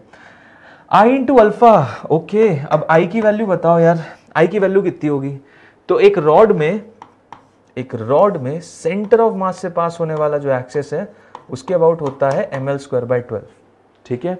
और अगर मैं किसी एंड पॉइंट के अबाउट देखूँ, या तो ये या ये, किसी भी एंड पॉइंट के अबाउट जो मोमेंट ऑफ़ इनर्शिया रहता है that is M L square by three ठीक है? M L square by three so so, यहाँ पे मोमेंट ऑफ़ इनर्शिया इस रॉड के अबाउट ये रहा मेरा एक्सिस इसके अबाउट ये पूरी की पूरी जो रॉड है ऐसे नीचे की तरफ़ गिरेगी और नीचे गिरते समय उसका जो इनिशियल एंगुलर एक्सेलरेशन होगा वही बताना है। आई की जगह रखेंगे हम M L square by three alpha ये हो गया मेरा M G L by two L से एल कैंसिल एम से एम कैंसिल अल्फ़ा की वैल्यू कितनी आ गई? अल्फ़ा की वैल्यू आ जाएगी three G by two L okay yes sir okay direction क्या होगा? ऑब्वियसली क्लॉकवाइज ही होगा यार, इस डायरेक्शन में होगा। ठीक है? अच्छा एक मज़े की बात बताऊँ। ये एंगुलर रोटेशनल वेरिएबल्स यार, ये तो ऐसे गोल गोल घुमाने वाले डायरेक्शन रहते हैं तो इनको वेक्टोरिकली कैसे एक्सप्लेन करते हैं? उसको एक्सप्लेन करने का तरीका यार रहता है आपका राइट हैंड ठीक है? राइट हैंड रूल दिखाता है। अब जैसे इस डायरेक्शन में मूव हो रहा है तो थंब का है? अंदर की तरफ़। मतलब एक्चुअल में जो अल्फ़ा का वेक्टर होगा, वो क्रॉस डायरेक्शन मतलब अंदर की तरफ़ होगा। इसीलिए क्लॉकवाइज को हम क्रॉस डायरेक्शन मतलब टूवर्ड्स इनटू द प्लेन वाले वेक्टर से दिखाते तो वेक्टर का डायरेक्शन क्रॉस होगा मतलब इनटू द प्लेन ठीक है? ऑप्शन है क्या three G by twelve three G ये ऑप्शन नंबर ए करेक्ट है जो कि है थ्री जी बाई ट्वेल्व ठीक है? सो आई थिंक आप सभी को समझ में आ गया। यार कमेंट में प्लीज़ बताते भी चलना। जितने लोग अगर अटेम्प्ट कर रहे हैं कि आप लोगों को आंसर मिला कि नहीं मिला मेरे से पहले बता दोगे तो बहुत अच्छी बात है। इसलिए मैं आंसर यहाँ पे शो भी नहीं कर रहा हूँ। आंसर हम सॉल्व करेंगे और निकालेंगे। सो so, मेरे से पहले अगर आंसर बताओगे तो I'll be highly delighted trust me I'll be so convinced कि यार हाँ I have done something good आप लोगों कुछ तो समझ में आया। ठीक है। आई थिन सर्कुलर रिंग कब का क्वेश्चन है? दो बार आ चुका है, इससे रिलेटेड देखो 2009 में भी आ चुका है एंड 98 इतना पुराना। कितने लोग तो पैदा भी नहीं हुए थे। A thin circular ring of mass small M small M नहीं capital M and radius capital R is rotating in a horizontal plane about an axis vertical to its plane. With a constant angular velocity, omega. ठीक है, एक circular ring है mass capital M की radius capital R का। Rotate हो रहा है horizontal plane में। हॉरिजॉन्टल प्लेन मतलब ये वाला प्लेन इस वाले प्लेन में वो रोटेट हो रहा है रिंग एरी ओके इधर रखी हुई है और कॉन्स्टेंट एंगुलर वेलोसिटी है उसकी ओमेगा ठीक है if two objects each of mass small m are attach gently to the opposite ends of the diameter ठीक है the ring will then rotate with an angular velocity किस, कौन सा concept है इसमें लगा हुआ? पता है आप लोगों को? इसमें कॉन्सेप्ट लगा हुआ है कंजर्वेशन ऑफ़ एंगुलर मोमेंटम का। कि एक रिंग थी रिंग नॉर्मली गोल गोल घूम रही थी, चक्की घूम रही थी, ठीक है? दो मासेस को लाए, उसके डायमेट्रिकली एंड पॉइंट्स पे लगा दिया। अब डायमेट्रिकली एंड पॉइंट्स पे लगाने से क्या होगा? भाई, उसके मोमेंट ऑफ़ इनर्शिया में चेंज आएगा एक्चुअली बढ़ जाएगा। और बढ़ जाएगा तो जैसे रखा जैसे ही तुमने रखा उस पर फ्रिक्शन लगेगा और वही फ्रिक्शन नीचे वाली रिंग पे भी लगेगा डिस्क पे डिस्क दिया हुआ है ना? रिंग दिया है। रिंग पे भी लगेगा। जो भी लगेगा पूरा सिस्टम पे जो नेट एक्सटर्नल फोर्स है वो तो ज़ीरो है। किसी ने कोई एक्सटर्नल फोर्स लगाया नहीं। अब क्योंकि किसी ने कोई एक्सटर्नल फोर्स लगाया ही नहीं तो अल्टीमेटली हम क्या बोल सकते हैं? कोई नेट टॉर्क नहीं होगा कोई नेट टॉर्क नहीं होगा तो एंगुलर मोमेंटम कंजर्व रहेगा एंगुलर मोमेंटम कंजर्व रहेगा तो हमारा काम बन गया और आंसर भी आ गया। ठीक है? सो so, सिंस पहले तो डायग्राम समझो। डायग्राम ये रहा। इस एक्सिस के अबाउट ये ऐसे रोटेट कर रहा था, ठीक है? इस पर क्या किया? दो यहाँ डायमेट्रिकली एंड पॉइंट्स पे हमने दो मासेस रख दिए, इधर और इधर, ठीक है? ये कैपिटल एम बड़े वाला था और ये दोनों छोटे जो मासेस थे वो स्मॉल एम थे, ठीक है? इसका मास कैपिटल एम था, अब इसके मासेस हो गए स्मॉल एम स्मॉल एम और इसका मास तो कैपिटल एम अब ये जो रोटेट कर रहा है, ये ओमेगा डैश से कर रहा है। पहले ओमेगा से कर रहा था, अब किससे कर रहा है? ओमेगा डैश से। तो ये नई ओमेगा डैश बतानी है। ये हम लोगों को नई ओमेगा डैश ही बतानी है। इसका रेडियस भी दे रखा है उन्होंने हमको। आर। ठीक है सर। ओके। कोई नहीं, हम बता देते हैं। फटाफट बताएँगे, कोई दिक्कत नहीं आएगी, बड़ी इजी से बता देंगे। जिसका आंसर आ जाए प्लीज़ बता भी देना। ए बी सी डी मैं वेट कर रहा हूँ, मेरे से पहले बताओगे तो यार, कभी मिले फ्यूचर में तो मैं तुम्हें टॉफी दूँगा। ठीक है? ओके, चलो। एंगुलर मोमेंटम कंजर्व रखते हैं। तो ये इनिशियल एंगुलर मोमेंटम हो गया और ये फाइनल एंगुलर मोमेंटम हो गया। ठीक है? दोनों कंजर्व रहेंगे क्योंकि since since net external torque is equal to 0 so what we can finally say is that delta L is going to be 0 delta L zero रहेगा मतलब कंजर्वेशन ऑफ़ एंगुलर मोमेंटम का केस है ये। ठीक है? Conservation of angular momentum का ये case है। ठीक है। इनिशियल एंगुलर मोमेंटम कितना था? इनिशियल था sir I into omega I into omega और बाद में कितना हो जाएगा? बाद में हो जाएगा I into omega dash plus इसका I m r square plus इसका I m r square into omega dash मतलब two times m into r square into omega dash ठीक है? ओके सर डन डन समझ आ गया। आगे ओमेगा डैश की वैल्यू बताओ, कितनी हो रही है? यहाँ पे रख दूँगा यार, ये तो हो जाएगा capital M R square omega यहाँ से देखो I plus two m r square common आ जाएगा और वहाँ नीचे आ जाएगा। तो हो जाएगा I plus two m r square right और आई की वैल्यू कितनी है? Capital M R square plus two m r square is equal to omega dash तो कितना हो रहा है? देखो R square R square R square cancel so finally omega dash की वैल्यू आ गई। Capital M omega divided by capital M plus two times small m so so, कौन सा ऑप्शन सही है? भाई लोगों बताओ कौन सा ऑप्शन सही है? Option number D option number D है ना? नहीं सॉरी ऑप्शन नंबर बी इसमें तो वन है। एक ही बार है एक ही बार स्मॉल एम है so capital M plus two m denominator में है और ऊपर है ओमेगा टाइम्स कैपिटल एम ठीक है? आई सपोज़ किसी को भी कोई डाउट हो they can ask me clearly मैं दोबारा समझा दूँगा बट क्वेश्चन इंपॉर्टेंट था दो बार रिपीट हो चुका है। तो ये बेसिकली ये दिखाता है कि हाँ यार uh, किस टाइप के क्वेश्चन आ रहे हैं। मतलब कंजर्वेशन ऑफ़ एंगुलर मोमेंटम के क्वेश्चन आते हैं and we know to understand किस टाइप के क्वेश्चन आ रहे हैं ताकि हम उन्हें सॉल्व कर पाए। ओके ठीक है सर ओके बढ़िया। ये बहुत अच्छा क्वेश्चन लगा मेरे को। मज़ेदार क्वेश्चन था बड़ा अच्छा लगा मुझे।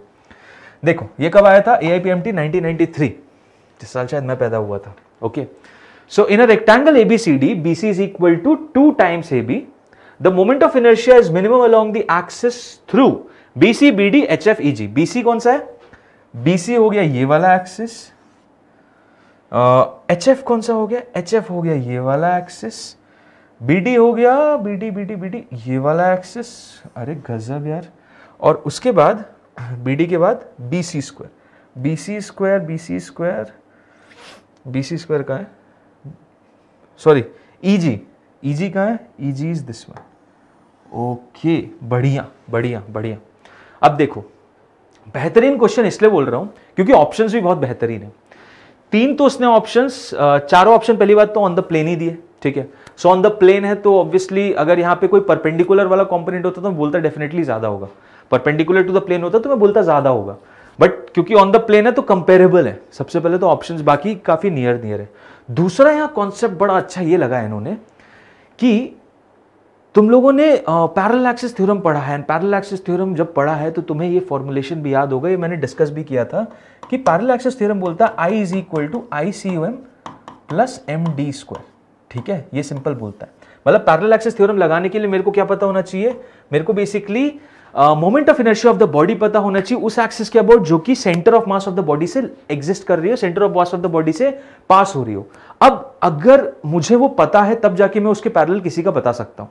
तो मेन मुद्दे की बात यह है कि यार कोई भी एक्सेस होगी उसके पैरल वो आईसीओएम प्लस कुछ ना कुछ तो उसमें जुड़ेगा। मतलब वो आईसीओएम से तो छोटी बड़ी होगी राइट तो यहाँ से मैं एक एनालिसिस ये निकाल सकता हूँ कि अगर मैं कोई बॉडी लेता हूँ ना, अगर कोई बॉडी लेता हूँ तो उसका जो मोमेंट ऑफ़ इनर्शिया होगा, एक होगा उसके सेंटर ऑफ़ मास के अबाउट और दूसरा जो कोई भी पैरेलल एक्सेस हो, उस सेंटर ऑफ़ मास वाली एक्सेस के, उसका आईसीयूएम प्लस समथिंग कुछ ना कुछ तो होगा। मतलब एक बात तो क्लियर है कि एक डायरेक्शन में जो सबसे लीस्ट मोमेंट ऑफ़ इनर्शिया होता है, वो उस एक्सेस के अबाउट होता है, जो कि सेंटर ऑफ़ मास से पास हो रही है।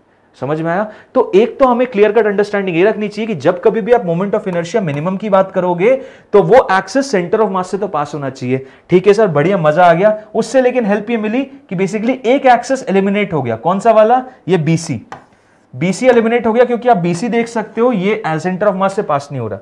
यहाँ पे देख सकते हो, ये जो बीसी एक्सेस है सेंटर ऑफ़ मास से पास नहीं हो रहा, ये एलिमिनेटेड लेकिन बाकी जो जो एक्सेस है ना, एक तो ये हो गया, एक ये हो गया और एक ये हो गया। ये तो भैया तीनों के तीनों सेंटर ऑफ़ मास से पास हो रही है। अब इनमें कैसे डिफ्रेंशिएट करोगे? अब इनमें कैसे डिफ्रेंशिएट करोगे? तो इसको डिफ्रेंशिएट करने का भी दूसरा तरीका है। इसको डिफ्रेंशिएट करने का भी दूसरा तरीका है। क्या हो जाएगा दूसरा तरीका? देखो, बताता हूँ।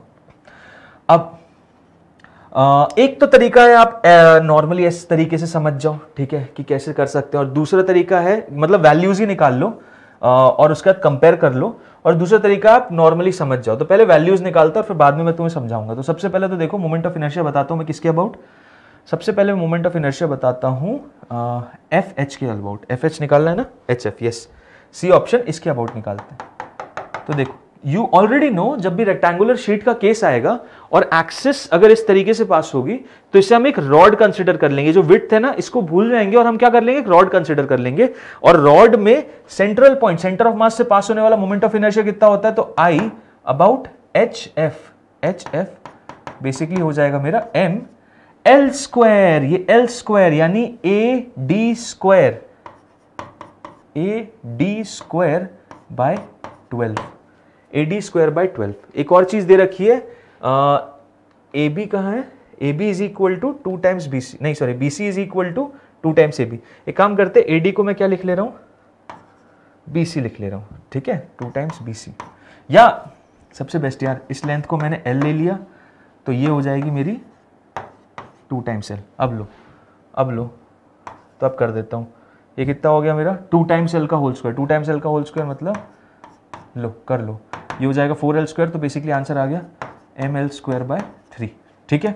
ओके एच एफ़ के अबाउट बता दिया आपने. ब्रिलियंट वेरी नाइस अब जरा ई जी के अबाउट बताओ. इस एक्सिस के अबाउट बताओ. ठीक है? इस एक्सिस के अबाउट बताता हूँ. I of E G I of E G I of E G हो जाएगा वही एम लेकिन लेंथ इस बार इसको लेंगे हम. M L square by twelve so ये लेंथ तो एल ही है. M L square by twelve ये आ गया ईजी और एच में एक चीज़ तो क्लियर दिख गई कि ये छोटा होगा, ये बड़ा होगा तो चलो एचएफ भी कैंसिल हो गई। अब बात करते हैं बीडी के बारे में। B D not B D it's B D okay so B D के अबाउट निकालने के लिए क्या बेस्ट अप्रोच है? बेस्ट अप्रोच ये होती है कि देखो, इसके अबाउट मोमेंट ऑफ़ इनर्शिया निकाला, इसके अबाउट मोमेंट ऑफ़ इनर्शिया निकाला, ये क्या दोनों एक्सिस परपेंडिकुलर है एक दूसरे के? हाँ जी। क्या ये पूरा का पूरा स्ट्रक्चर टू डायमेंशनल है? हाँ जी। यही दो चीज़ें हम लोगों को इंश्योर करनी पड़ती हैं। कौन सा थ्योरम लगाने से पहले हमें ये इंश्योर करना पड़ता है? परपेंडिकुलर एक्सिस थ्योरम लगाने से पहले। और अगर आपने लगा लिया तो फिर देखो ये आई वाई वाई की तरह बिहेव करेगी आई एक्स एक्स की तरह बिहेव करेगी।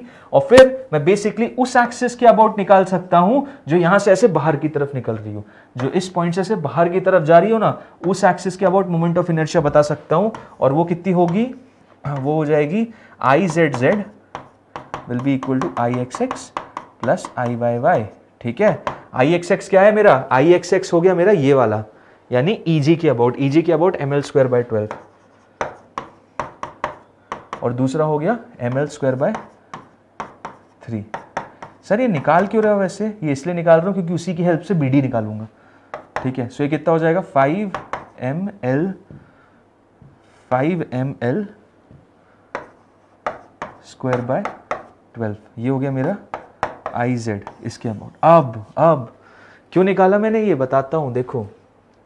इसको थोड़ा इस तरीके से बनाते हैं। ये था सिनारियो ठीक है? ये था सिनारियो अब मुझे किसके अबाउट मोमेंट ऑफ़ इनर्शिया पता चल चुका है? अब मुझे इस एक्सिस के अबाउट मोमेंट ऑफ़ इनर्शिया पता चल चुका है। ठीक है? इस एक्सिस के अबाउट पता चल चुका है।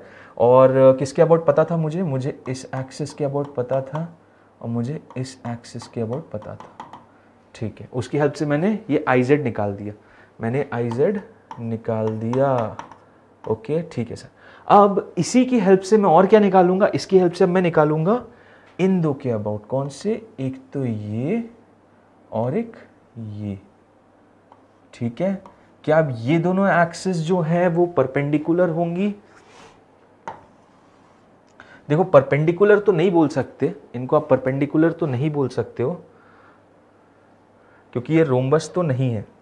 ठीक है, ये परपेंडिकुलर नहीं है तो नहीं यार, ये तो नहीं लग पाएगा। ये तो नहीं लग पाएगा आई एम सो सॉरी ये इसलिए नहीं लग पाएगा क्योंकि वो दोनों परपेंडिकुलर नहीं है। राइट? right? उसके लिए परपेंडिकुलर एक्सिस थ्योरम लगाने के लिए दोनों परपेंडिकुलर होनी चाहिए। तो आप वो चीज़ तो नहीं लगा पाओगे, लेकिन हाँ इस मेथड से नहीं निकाल पाएँगे। इसको यहीं पे, इसको रुको। इसको यहीं पे आपको रोकना पड़ेगा, आपको दूसरा अप्रोच यूज़ करना पड़ेगा। देखो, दूसरा अप्रोच बताता हूँ क्या है। आप इसके थ्रू नहीं कर पाओगे। बताता हूँ रीजन क्या है। क्योंकि इसके थ्रू मैं ये सोच रहा था, पहले आईजेड मैंने निकाला जो, ये आईजेड जो मैंने निकाला, उसको मैं दो में बांट दूँगा। एक इसके अबाउट एक इसके अबाउट लेकिन नहीं बांट सकता। क्योंकि रीजन ये है कि वो दोनों एक्सेस परपेंडिकुलर होने चाहिए। वो परपेंडिकुलर नहीं है।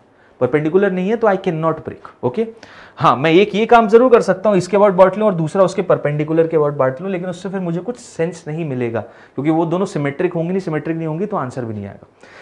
ठीक है, अब basically what I am just trying to tell you guys is मैं कंपेयर कैसे करूँ? मैं कंपेयर एक तो चलो अच्छी बात पता चल गई हमने आईजेड पता कर ली, लेकिन अब मैं कंपेयर कैसे करूँ इस एक्सेस के अबाउट ये जो आपको बी डी एक्सेस दिख रही है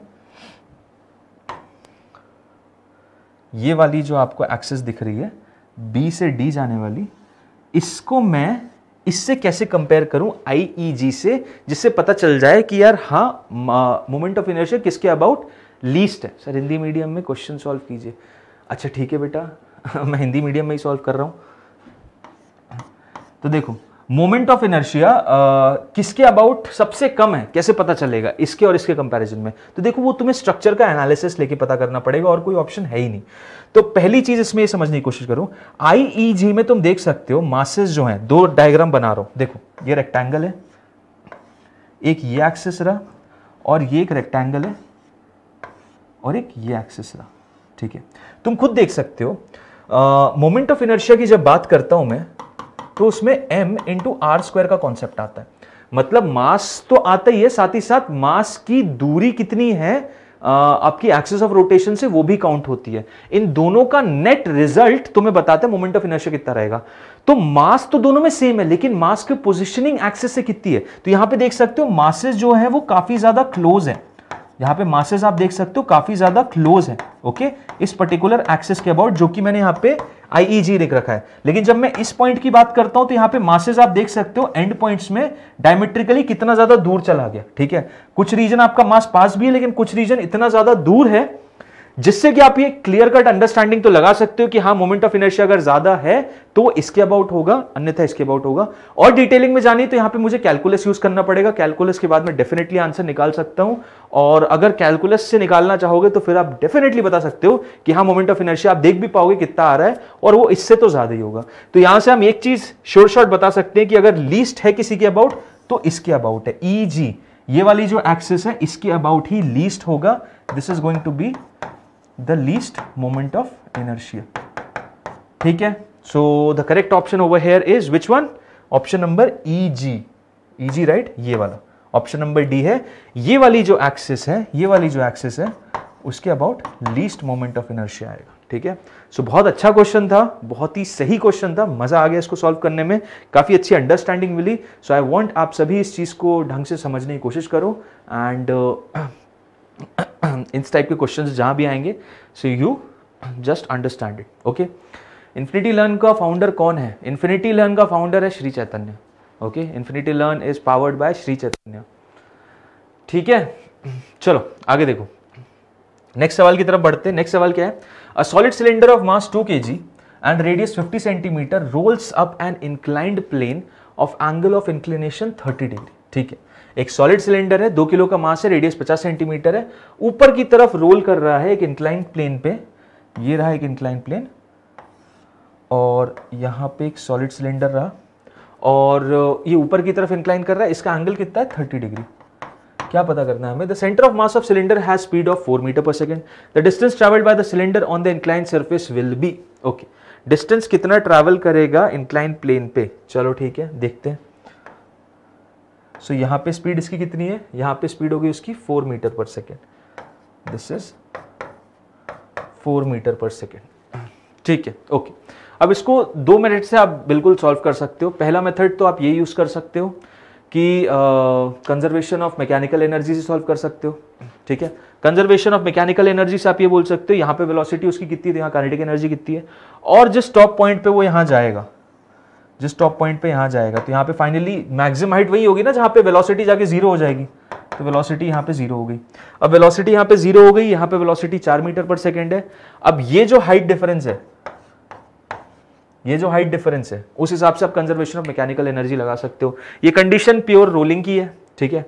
कंडीशन जो है प्योरी प्योर रोलिंग की है और कोई भी वर्क डन फ्रिक्शन या किसी भी नॉन कंजर्वेटिव फोर्स की वजह से नहीं होगा। So basically delta K plus delta U zero के बराबर हो जाएगा। उस हिसाब से आप एच की वैल्यू निकाल सकते हो और वो एच आपने निकाल लिया तो फिर ये डिस्टेंस तो बड़े आराम से निकाल लोगे, क्योंकि जो डिस्टेंस है एक्स सपोज़ ये डिस्टेंस एक्स है तो एक्स कॉस थर्टी ये है एक्स साइन थर्टी ये है, उस हिसाब से मैं एक्स की वैल्यू बता दूँगा। ठीक है? चलो तो यही अप्रोच लगाते हैं कंजर्वेशन ऑफ़ मैकेनिकल एनर्जी दूसरा अप्रोच ये हो जाता है कि आप इसमें एमजी का कॉम्पोनेंट ले लो और फ्रिक्शन ले लो और उस हिसाब से फिर सॉल्व करने की कोशिश करो। बट उससे बेटर है आप कंजर्वेशन ऑफ़ मैकेनिकल एनर्जी लगाओ क्योंकि बहुत इजीली आपका आंसर आ जाएगा। तो और conservation of mechanical energy use करते हैं। Delta K plus delta U is equal to zero ठीक है? Final kinetic energy zero initial kinetic energy कितनी थी? अब इनिशियल काइनेटिक एनर्जी दो फॉर्म में होगी। कौन कौन से दो फॉर्म एक तो होगा हाफ़ एम वी स्क्वायर और दूसरा हो जाएगा हाफ़ आई ओमेगा स्क्वायर ठीक है?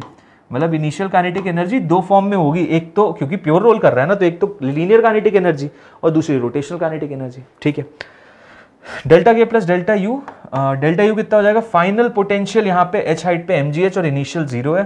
सो हो जाएगा M G H not M D H M G H minus zero ठीक? ओके सर ठीक है। तो ये जो एलिमेंट है उसको आर पे ले जाते हैं एम के बराबर हो जाएगा। So M G H is equal to half of M into V square ये क्या है? सॉलिड सिलेंडर सॉलिड सिलेंडर का आई कितना होता है? सॉलिड सिलेंडर का आई होता है M R square by two ठीक है?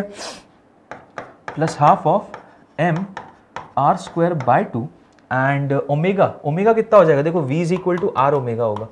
सो so, ओमेगा की वैल्यू मैं वी बाय आर रख दे रहा हूँ इधर। So V square by R square ठीक है? इससे ये cancel so finally as you can see over here ये कितना आंसर आ रहा है? Half M V square plus one by four M V square finally कितना आ जाएगा? इधर भी टू और टू तो three by four this will turn out to be M G H is turning out to be three by four M into V square M से M cancel करो. Velocity की वैल्यू पता है. यहाँ से H की value फटाफट निकालते हैं. एच कितना आ रहा है? एच कितना आ रहा है? एच की वैल्यू आ जाएगी three by four V square by G so three by four V square कितना था? Velocity was four meter per second so four square by G is ten एक चार से एक चार गया twelve by ten is one point two meters ये आ गई मेरी एच और एच दिया हुआ है, लेकिन ये एच नहीं है। हमें क्या पता करना है? हमें पता करना है एक्स एक्स ये पता करना, ये distance the distance travelled by the cylinder on the incline surface H दिया हुआ ऑप्शन में जल्दीबाजी 1.2 मत कर देना, गलत आंसर है। तो अब इसको क्या करेंगे हम? हम बेसिकली एक्स साइन थर्टी को एच से रिलेट करेंगे, ठीक है? सो एक्स साइन थर्टी यहाँ पे करता हूँ। एक्स साइन ऑफ़ थर्टी मेरा एच है, ठीक है? तो X by two is equal to one point two X की वैल्यू आ गई 2.4 मीटर कौन सा ऑप्शन है? Option number D this is the correct one okay so H की वैल्यू दी हुई थी, इसलिए क्योंकि देवर एक्सपेक्टिंग कि आप गलत आंसर जल्दीबाजी में लिख दोगे but you need to be cautious अगर आप कॉशियस हो, अगर आपको समझ में आ रहा है यू नो देन आप गलत नहीं लिखोगे. आई एम श्योर आप गलत नहीं लिखोगे. ठीक है? सो आई सपोज़ ये पूरा एनालिसिस आपको क्लियर है and you have understood that clearly इसी के साथ आगे बढ़ते हैं. अगले सवाल की तरफ़ बहुत सारे सवाल सॉल्व करने यार हमको आज. मज़ेदार सेशन रखेंगे. सो नेक्स्ट सवाल जो है बेसिकली यहाँ पे क्या है? A particle starting from rest moves in a circle of radius small R it attains a velocity of V naught meter per second in the nth round its angular acceleration will be angular acceleration कितनी होगी? चलो angular acceleration देखते हैं। uh, क्या देखिए रखा है? Velocity we not attend कर लेता है एनथ राउंड में ठीक है। रेस्ट से स्टार्ट हो रहा है। रेस्ट से स्टार्ट हो रहा है और सर्कल में मूव कर रहा है और वेलोसिटी हो गई वी नॉट एनथ राउंड में its angular acceleration will be okay ठीक है। अब देखो यार एंगुलर एक्सेलरेशन है अगर अगर एंगुलर एक्सेलरेशन है तो उसका ओमेगा बढ़ेगा राइट कुछ ना कुछ तो ओमेगा होगा और इनिशियली रेस्ट पे था तो इनिशियल ओमेगा ज़ीरो हो जाएगा। और हमें पता करना एन एथ राउंड के बाद मतलब एन राउंड यानी टोटल एंगल कितना मूव हो जाएगा? N into two pi N into two pi radians ठीक है? Two pi N radians angle move हो जाएगा। Thank you thank you thank you so much आप मेरे साथ हैं। It's so good to hear ठीक है? सो टोटल एंगल कितना हो जाएगा? बोल रहा है एनथ राउंड तक आ, उसकी वेलोसिटी वी नॉट हो जाती है। तो एंगुलर वेलोसिटी हमको बतानी एंगुलर एक्सेलरेशन बताना है। तो देखो एनएथ राउंड मतलब टोटल एंगल तब तक कितना हो जाएगा? एन इंटू टू पाई क्योंकि हर एक एंगल पे हर एक बेसिकली राउंड में वो टू पाई का एंगल कवर कर रहा है। सो so, टोटल जो एंगल कवर हो जाएगा इस टाइम तक टू पाई एन के बराबर हो जाएगा। इनिशियल एंगुलर वेलोसिटी ज़ीरो है। फाइनल एंगुलर वेलोसिटी कितनी है? फाइनल एंगुलर वेलोसिटी इन्होंने लीनियर वेलोसिटी दे रखी है। तो लीनियर वेलोसिटी कितनी हो जाएगी यार? वी नॉट बाय आर हो जाएगी। ठीक है? V naught by R final angular velocity हो जाएगी। अब मैं इसको यूज़ इसलिए कर रहा हूँ क्योंकि मैं इक्वेशन लिखूँगा omega is equal to omega square minus omega naught whole square is equal to two alpha theta जो कि V square minus U square equal to two S होती है। सो so बेसिकली मैं इसको यूज़ करूँगा omega square minus omega naught square is equal to two alpha theta ठीक है? Equation of motion in rotational motion ठीक है? So omega square कितना है? ओमेगा स्क्वायर दिया हुआ V naught square by R square ये ज़ीरो हो गया। टू टाइम्स अल्फ़ा अल्फ़ा कितना है? अल्फ़ा ही तो निकालना है, सर। ओके, थीटा कितना है? थीटा है टू पाई एन। ठीक है, सर। क्या अल्फ़ा निकल आया? हाँ जी, बिल्कुल, अल्फ़ा की देखो वैल्यू आ गई। V naught square V naught square divided by four pi Al four pi N R square four pi N R square option है क्या कोई सा four pi N R square ये देखो। V naught square upon four pi N R square option number C and I suppose आप सभी को ये चीज़ समझ में आई कि किस तरीके से हमने इसको निकाल दिया है। ओके ठीक है सर। परफेक्ट बढ़िया। आगे बढ़ते हैं। एंड नेक्स्ट uh, सवाल क्या है? 2019 में पूछा गया था क्वेश्चन 2018 में। देखो a solid sphere is rotating freely about its symmetry axis in free space ठीक है? The radius of the sphere is increased keeping its mass same which of the following physical quantities would remain constant for the sphere? ठीक है। बड़ा अच्छा सवाल है। और uh, सबके बारे में बताते हैं कि क्या बढ़ेगा, क्या घटेगा, क्योंकि इससे रिलेटेड ज़रूरी थोड़ी यही पूछ सकते हैं कि कांस्टेंट क्या रहेगा। ये भी पूछ सकते हैं कल को कि क्या बढ़ेगा और क्या घटेगा क्या घटेगा नहीं, क्या कांस्टेंट रहेगा। तो सब सारी चीज़ें डिस्कस करते हैं। देखो सॉलिड स्फीयर था फ्रीली रोटेट कर रहा था सिमेट्रिक एक्सिस अपने एक्सिस के अबाउट और फ्रीली फ्रीली रोटेट कर रहा था मतलब किसी भी एक्सटर्नल फोर्स या एक्सटर्नल टॉर्क की वजह से कुछ नहीं कर रहा था वो। ठीक है, अब हुआ क्या कि जब फ्रीली रोटेट कर रहा था तो उसका मास सेम रहा, उसका मास सेम रहा बट उसका रेडियस बढ़ गया। उसका रेडियस इनहेंस हो गया। इतना बड़ा रेडियस हो गया। ठीक है? अब रेडियस बढ़ने से क्या हो गया कि उसका obviously moment of inertia enhance हो जाएगा। उसका जो मोमेंट ऑफ़ इनर्शिया है, वो बढ़ जाएगा और मोमेंट ऑफ़ इनर्शिया बढ़ेगा। तो देखो, क्या इसमें कांस्टेंट रहने वाला है? कांस्टेंट रहेगा एंगुलर मोमेंटम रीजन बीइंग क्योंकि एंगुलर मोमेंटम ऐसी चीज़ है, जिसको बढ़ाने या घटाने के लिए तुम्हें एक्सटर्नल टॉर्क ही चाहिए। और यहाँ पे कोई भी एक्सटर्नल टॉर्क नहीं है, क्योंकि ये स्टेटमेंट देखो बहुत ही ज़्यादा इंपॉर्टेंट है। फ्रीली फ्रीली रोटेटिंग फ्रीली इसका मतलब कोई एक्सटर्नल एजेंट कोई एक्सटर्नल सोर्स के थ्रू फोर्स या टॉर्क नहीं लग रहा है। तो अगर फ्रीली रोटेट कर रहा है तो नेट टॉर्क ज़ीरो हो जाएगा सिस्टम पे, है ना? नेट टॉर्क इसका मतलब यह है नेट टॉर्क इज़ ज़ीरो और नेट टॉर्क ज़ीरो यानी एंगुलर मोमेंटम जो रहेगा, वो कंजर्व्ड रहेगा मतलब कांस्टेंट रहेगा। और कंजर्व्ड रहेगा, इसका मतलब अगर आई इसका मतलब क्या है? आई ओमेगा कांस्टेंट है। ठीक है? तो आई अगर बोल रहा बढ़ रहा है तो ओमेगा क्या होगा? ओमेगा घटेगा यार। ओमेगा घटेगा। आई बढ़ रहा है ओमेगा घटेगा। तो ठीक है मोमेंट ऑफ़ इनर्शिया के साथ क्या होगा? ये तो इंक्रीज करेगा। एंगुलर वेलोसिटी के साथ क्या होगा? ये तो डिक्रीज करेगा। एंगुलर मोमेंटम क्या रहेगा? ये तो कांस्टेंट रहेगा। ठीक है, और और बताओ और बताओ सर, और क्या क्या चेंजेस आएँगे या नहीं आएँगे? ठीक है, और बताता हूँ, देखो ज़रा। रोटेशनल काइनेटिक एनर्जी कितनी होती है? Rotational kinetic energy is R के जो होता है दैट इज़ आपका हाफ़ हाफ़ कितना? Half I omega square half I omega square ठीक है? इससे भी समझ सकते हो या इस चीज़ से भी समझ सकते हो? L square by two M L square by two I ठीक है? अब देखो आ, इसी से देख लो एल कांस्टेंट है तो आर के इन्वर्सिटी प्रोपोर्शनल हो गया मोमेंट ऑफ़ इनर्शिया की मोमेंट ऑफ़ इनर्शिया बढ़ रहा है तो आर के क्या हो जाएगा? घटेगा। यहाँ से नहीं समझ आया तो यहाँ से समझ लो। आई ओमेगा इसमें से अलग रख लेना आई ओमेगा क्या हो रहा है? वो तो कांस्टेंट है और ओमेगा बच जाएगा तो ओमेगा क्या हो रहा है? ओमेगा सर घट रहा है तो रोटेशनल काइनेटिक एनर्जी भी घटेगी। सो जो कांस्टेंट रहने वाली चीज़ है वो ऑप्शन नंबर डी है बाकी सब घटेगा बढ़ेगा अपने हिसाब से एडजस्ट हो जाएगा। आपको बस ये चीज़ समझनी है कि किस हिसाब से आपको एनालिसिस करना है। सर थ्योरी कब पढ़ाएँगे? इसका प्लीज़ बताइए। इसका थ्योरी ऑलरेडी हम पढ़ चुके हैं। आप चैनल पे आओ और चैनल पे आप देखोगे तो हमारे पास्ट वन वीक से ट्वेंटी सेवेंथ से बेसिकली हमारे डेली वन वन आर के सेशंस हो रहे हैं, जिसमें आप इनकी थ्योरीज बहुत अच्छी तरीके से रिवाइज कर सकते हो। और ये सारे ही कॉन्सेप्ट जितने भी कॉन्सेप्ट्स आप इसमें देखोगे, सारे कॉन्सेप्ट्स हम डिस्कस कर चुके so do subscribe the channel playlist में जाके देखो, आपको सेशंस मिल जाएँगे individually physics chemistry zoology botany सबके ओके ठीक है। नेक्स्ट सवाल पे चलते नीट 2018 का है। ना, सवाल क्या है? बड़ा अच्छा है ये भी। सॉलिड स्पेयर है रोलिंग मोशन में। सॉलिड स्पेयर रोलिंग मोशन में है। In rolling motion a body possesses translational kinetic energy as well as rotational kinetic energy इसके पास ट्रांसलेशनल भी है और साथ ही साथ रोटेशनल काइनेटिक एनर्जी भी simultaneously the ratio of K T is to K T plus K R for the sphere is K T is to K T plus K R का स्फीयर रेशो कितना है ये बताओ। ठीक है? कोई नहीं चलो रेशियो बताते तो सॉलिड स्फीयर है रोलिंग मोशन में। सॉलिड स्फीयर रहा रोलिंग मोशन में। इसके पास एक वेलोसिटी हो गया सेंटर ऑफ़ मास की वीसी बिल्कुल।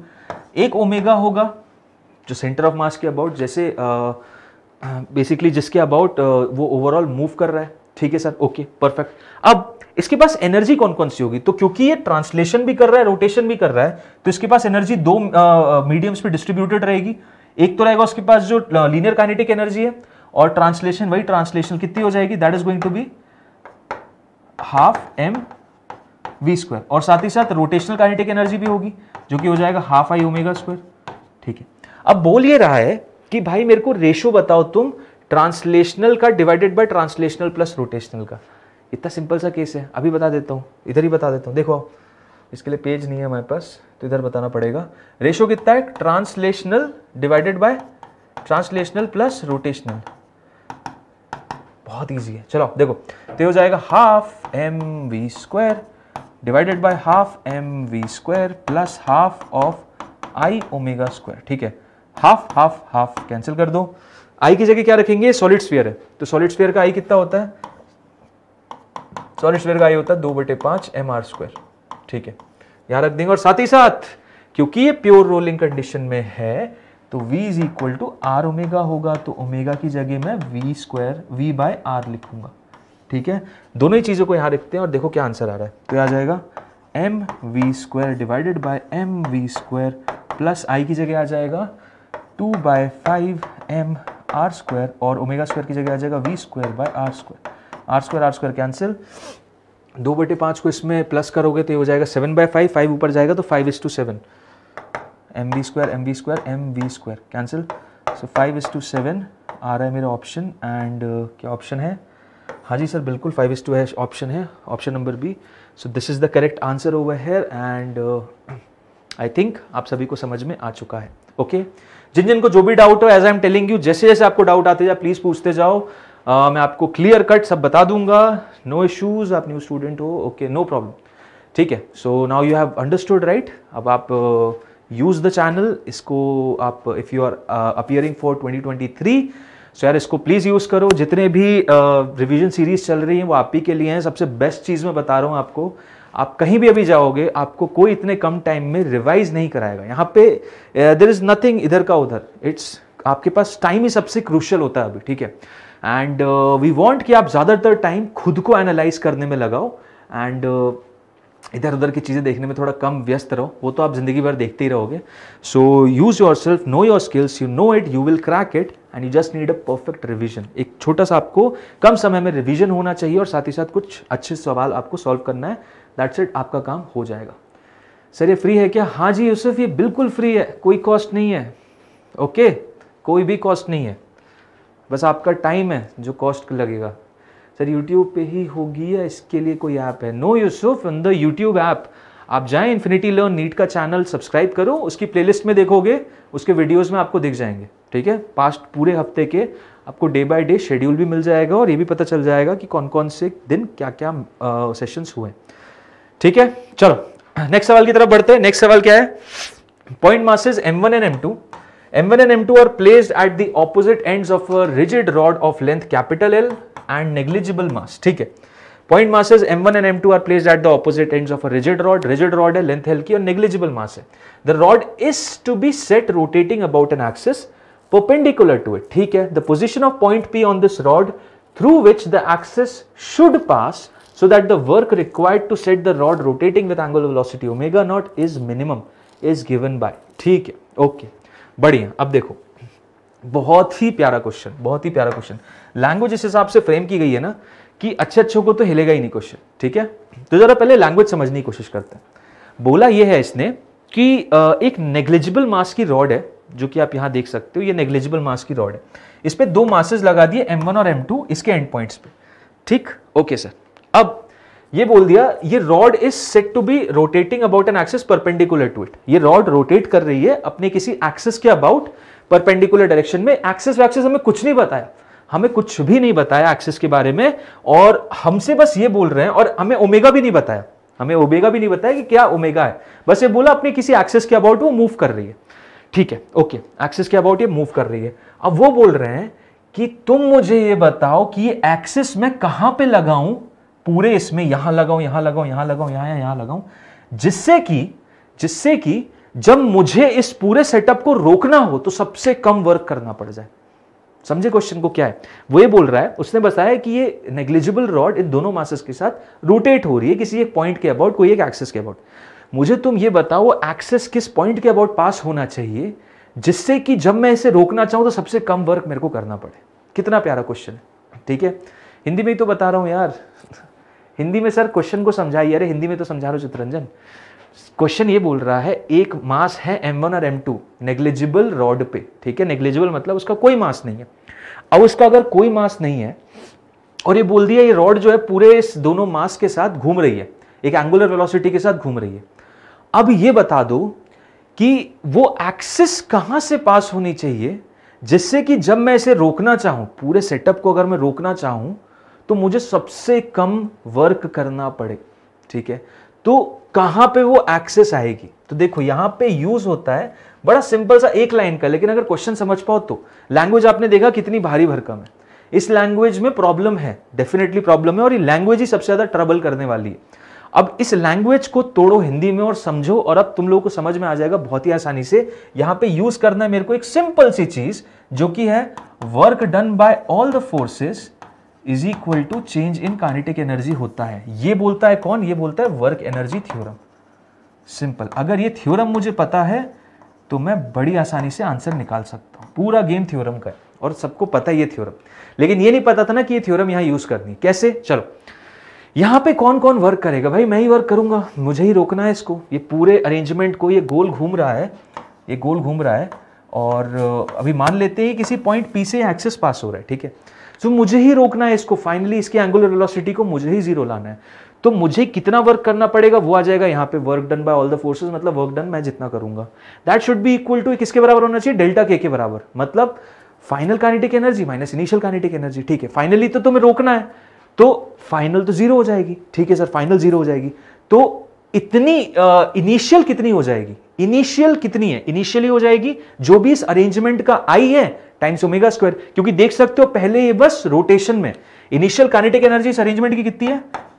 इनिशियल कानेटिक एनर्जी इस अरेंजमेंट की हाफ़ आई ओमेगा स्क्वायर समझ में आ रहा है?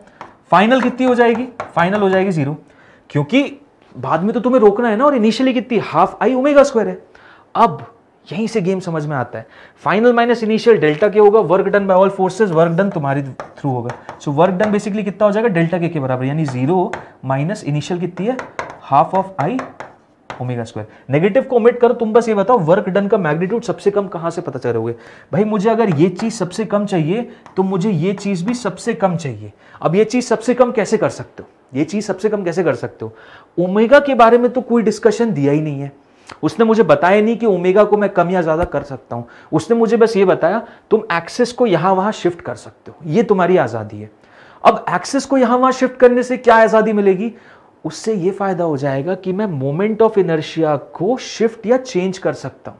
समझ रहे हो? मोमेंट ऑफ़ इनर्शिया की वैल्यू को चेंज कर सकता हूँ। अगर मैं एक्सेस को यहाँ ले आऊँ, यहाँ ले आऊँ, यहाँ ले आऊँ, यहाँ ले आऊँ, यहाँ ले आऊँ, कहीं भी ले जाऊँगा तो मैं मोमेंट ऑफ़ इनर्शिया का वैल्यू को एडजस्ट कर सकता हूँ, कम या ज़्यादा कर सकता हूँ। तो मुझे क्या चाहिए? मुझे चाहिए वर्क डन सबसे कम होना चाहिए ना। तो मैं इस वैल्यू को सबसे कम करना चाहूँगा। अब इस वैल्यू को सबसे कम कैसे कर सकते ओमेगा को छेड़ नहीं सकते हाफ़ को तो छेड़ोगे ही नहीं। तो आई की वैल्यू को ही सबसे कम कर दो और आई सबसे कम किसके अबाउट होता है? जो मोमेंट ऑफ़ इनर्शिया होता है, कौन से ऐसे पॉइंट के अबाउट एक्सेस पास होती है तो सबसे कम होता है? और वो पॉइंट होता है सेंटर ऑफ़ मास ठीक है? इसके बारे में हम ऑलरेडी डिस्कस कर चुके हैं। ये पूरे सेशन के स्टार्टिंग में भी मैंने क्वेश्चन कराया था, तब भी डिस्कस किया था। मोमेंट ऑफ़ इनर्शिया सबसे लीस्ट होता है जब वो सेंटर ऑफ़ मास से पास होता है। मतलब इस एक्सिस को इन दोनों मासेस के सेंटर ऑफ़ मास से पास करवा दोगे तो वर्क डन लीस्ट हो जाएगा और वर्क डन लीस्ट हो जाएगा तो तुम्हारा आंसर भी पता चल जाएगा। तुम्हें ये बताना है, ये एक्स कितना है? ये दूरी कितनी है उस एक्सिस की m1 से? समझ आ रहे हो? गेम मात्र इतना सा था, तुम्हें ये चीज़ समझ में आनी चाहिए कि अगर तुम्हें वर्क डन अगर तुम्हें वर्क डन लीस्ट करना है तो बेसिकली तुम्हें आई की वैल्यू को लीस्ट करना पड़ेगा एंड उसके लिए axis of rotation should pass should pass through the C one ठीक है? ये सिंपल सा कॉन्सेप्ट था। अब सेंटर ऑफ़ मास निकालना तो बहुत आसान है। फटाफट निकाल देते सेंटर ऑफ़ मास कितना हो जाएगा? देखो, यहीं पे तुम्हारा रेफरेंस पॉइंट ले लो। तो basically m2 two into total length l divided by m1 plus M ठीक है? सो सेंटर ऑफ़ मास की दूरी कितनी हो जाएगी? यहाँ से r कॉम ले लूँगा मैं तो। सेंटर ऑफ़ मास की दूरी हो जाएगी m2 two into L divided by M one plus M two ठीक है? ये दूरी हो गई इधर से इधर की और जो कि x की वैल्यू है। और ये क्वेश्चन में पूछा था x की वैल्यू कितनी हो जाएगी? तो देखो, x की वैल्यू हो गई। ये रहा option number D M two L upon M one plus M two बहुत ही प्यारा क्वेश्चन बहुत ही amazing question and I suppose आप सभी को ये चीज़ क्लियर हो जाएगी। किसी को भी डाउट हो प्लीज़ टेल मी हाँ यार क्वेश्चन तो बहुत खतरनाक था सही में। ठीक है सो so, किसी को भी कोई डाउट है बिल्कुल बताना बट बहुत प्यारा क्वेश्चन था बहुत ही ज़्यादा प्यारा क्वेश्चन और ऐसे क्वेश्चन आते भी हैं नीट में ठीक है? और इस क्वेश्चन में देखो आपको कुछ नहीं था एक सिंपल सी चीज़ वर्क एनर्जी थ्योरम कितने प्यार से यूज़ हुआ लेकिन और कॉन्सेप्ट किसका था? मात्र सेंटर ऑफ़ मास का तो इंटरमिक्सिंग ऑफ़ कॉन्सेप्ट भी था। क्वेश्चन तो सेंटर ऑफ़ मास का ही था। पूछ रहे थे सेंटर ऑफ़ मास की वैल्यू कितनी होगी? लेकिन बेसिकली तुम्हें यह समझना चाहिए था ज़रूरी कि मोमेंट ऑफ़ इनर्शिया किसके अबाउट लीस्ट वैल्यू पे होगा। ठीक है? अगर समझ जाते तो आंसर आ जाता। ओके okay, बिल्कुल बिल्कुल बिल्कुल डन बिल्कुल लिखते हैं हम अच्छे से। चलो नेक्स्ट क्वेश्चन है। A small object of uniform density rolls up a curved surface with an initial velocity v ठीक है? It reaches up to a maximum height of three V square by four G with respect to the initial position the object is object क्या है? ठीक है? कोई दिक्कत नहीं। इसमें वर्क एनर्जी थ्योरम लगाएँगे। अब देखो, एक कर्व सरफेस है, कुछ ऐसा कर्व सरफेस है, जो भी है। बेसिकली उसने ये बोला, यहाँ पे एक ऑब्जेक्ट था स्मॉल ऑब्जेक्ट जिसकी डेंसिटी यूनिफॉर्म थी। ये रोल करके ऊपर गया, इसकी इनिशियल वेलोसिटी वी थी। अब ये रोल जो करेगा तो ये प्योरली रोल करेगा। इसकी रोलिंग प्योर रोलिंग की केस में आएगी, ठीक है? This is basically they are talking about pure rolling ठीक है? ओके अब ये प्योर रोलिंग करके यहाँ से यहाँ तक पहुँच गया। ठीक है? यहाँ से यहाँ तक पहुँच गया। और ये बताइए मैक्सिमम हाइट इतनी रीच कर सकता? मैक्सिमम हाइट का कॉन्सेप्ट तुमने बता दिया, इसका मतलब ये है, यहाँ पे इसकी वेलोसिटी ज़ीरो है। इससे ज़्यादा हाइट अचीव नहीं कर पाएगा, क्योंकि वहाँ पे उसकी जाके वेलोसिटी ज़ीरो होगी। ओके और हमको ये हाइट पता करनी है। ठीक है। अब ये सारे केसेस बेसिकली होते हैं तुम्हारे तुम्हें इनसे एनालाइज ये करना रहता है कि यहाँ वर्क एनर्जी थ्योरम से ही आंसर आएगा, ठीक है? सो वर्क एनर्जी थ्योरम से क्या आंसर आएगा? चलो फटाफट ये पता करते हैं okay so delta K plus delta U will be equal to work done by non conservative plus work done by external ना ही कोई नॉन कंजर्वेटिव है, ना ही कोई एक्सटर्नल है। फ्रिक्शन होगा भी तो उसकी वजह से कोई वर्क नहीं है, क्योंकि यहाँ पे स्कीडिंग का कोई केस नहीं है। प्योर रोलिंग हो रही है मतलब डेल्टा के प्लस डेल्टा यू ज़ीरो के बराबर रहेगा। Finally potential energy zero initially कितनी थी? हाफ़ एम वी स्क्वायर बस इतनी थी क्या? नहीं. इसके अलावा आपकी हाफ़ आई ओमेगा स्क्वायर भी होगी. Half I omega square half I omega square ठीक है? प्लस प्लस क्योंकि देखो रोल भी कर रहा है ना? वो तो कर ही रहा है, साथ ही साथ रोल भी कर रहा है. रोलिंग करके ऊपर गया तो दो फॉर्म में एनर्जी स्टोर्ड रहेगी. एक तो काइनेटिक एनर्जी के फॉर्म में और दूसरा आपका रोटेशनल काइनेटिक एनर्जी के फॉर्म में ट्रांसलेशनल और रोटेशनल अब वो दोनों ही एनर्जी मैंने यहाँ लिख दी। ठीक है, ये हो गई हमारी फाइनल और ये इनिशियल ऐसे ही final minus initial potential energy में भी देखो तो फाइनली एम पे इनिशियली ज़ीरो पे था। तो हो जाएगा M G H minus zero is equal to zero हमें पता करना है कौन सी मैक्सिमम वैल्यू ऑफ़ हाइट के लिए। वेलोसिटी की वैल्यू क्या होनी चाहिए? जिससे कि v की वैल्यू अच्छा सब ऑब्जेक्ट क्या होना चाहिए? जिससे कि maximum height three V square by four G reach करे। ठीक है। ओके भैया, कोई नहीं। चलो अभी बताता हूँ। देखो, इस चीज़ को उधर ले जाते हैं। इस पूरी एंटायर क्वांटिटी को उधर ले जाते हैं तो देखो क्या हो जाएगा? Half M V square plus और आई को मैं एक और चीज़ से लिखना चाह रहा हूँ। देखो आई को मैं लिखना चाह रहा हूँ एम इंटू के स्क्वायर जहाँ के हो रहा है मेरा रेडियस ऑफ़ गायरेशन के है मेरा रेडियस ऑफ़ गायरेशन ठीक है? और uh, क्योंकि ये प्योर रोलिंग की कंडीशन है तो v is equal to omega R तो हो गई। तो ओमेगा की जगह भी मैं एम बी स्क्वायर लिखूँगा। ठीक है? Half M B square plus half of I की जगह लिख दूँगा एम के स्क्वायर ओमेगा की जगह क्या लिख दूँगा मैं? V square by R square is equal to ये M into G into H की वैल्यू कितनी दे रखी है? Three V square by four G तो देखो जी से G cancel M M M V square V square V square सब कैंसिल हो गया। कितना बचा? बच ये रहा है आपका थ्री बाय फोर और हाफ़ उधर चला जाएगा। तो थ्री बाय फोर में से आधा निकल जाएगा तो वन बाय फोर बचेगा। तो यहाँ आ जाएगा K square by R square K square by two R square is equal to one by four one by four value बच रही है। अब देखो। ये दो से ये दो गया। ये दो से ये दो गया और के की वैल्यू कितनी आ गई? के की वैल्यू आ जाएगी आर बाय रूट टू अब R by root two K की वैल्यू है। तो बताओ radius of gyration R by root two किसका होता है? तो आओ फटाफट समझने की कोशिश करते हैं रेडियस ऑफ़ गायरेशन किस किसका क्या होता है? अगर मैं रिंग की बात करूँ तो रिंग का moment of inertia M R square होता है। तो इसका रेडियस ऑफ़ गायरेशन बस आर होता है। अगर मैं डिस्क की बात करूँ तो डिस्क का होता है M R square by two तो के होता है इसका आर बाय रूट टू ठीक है? अगर मैं सॉलिड होलोस्फियर की बात करूँ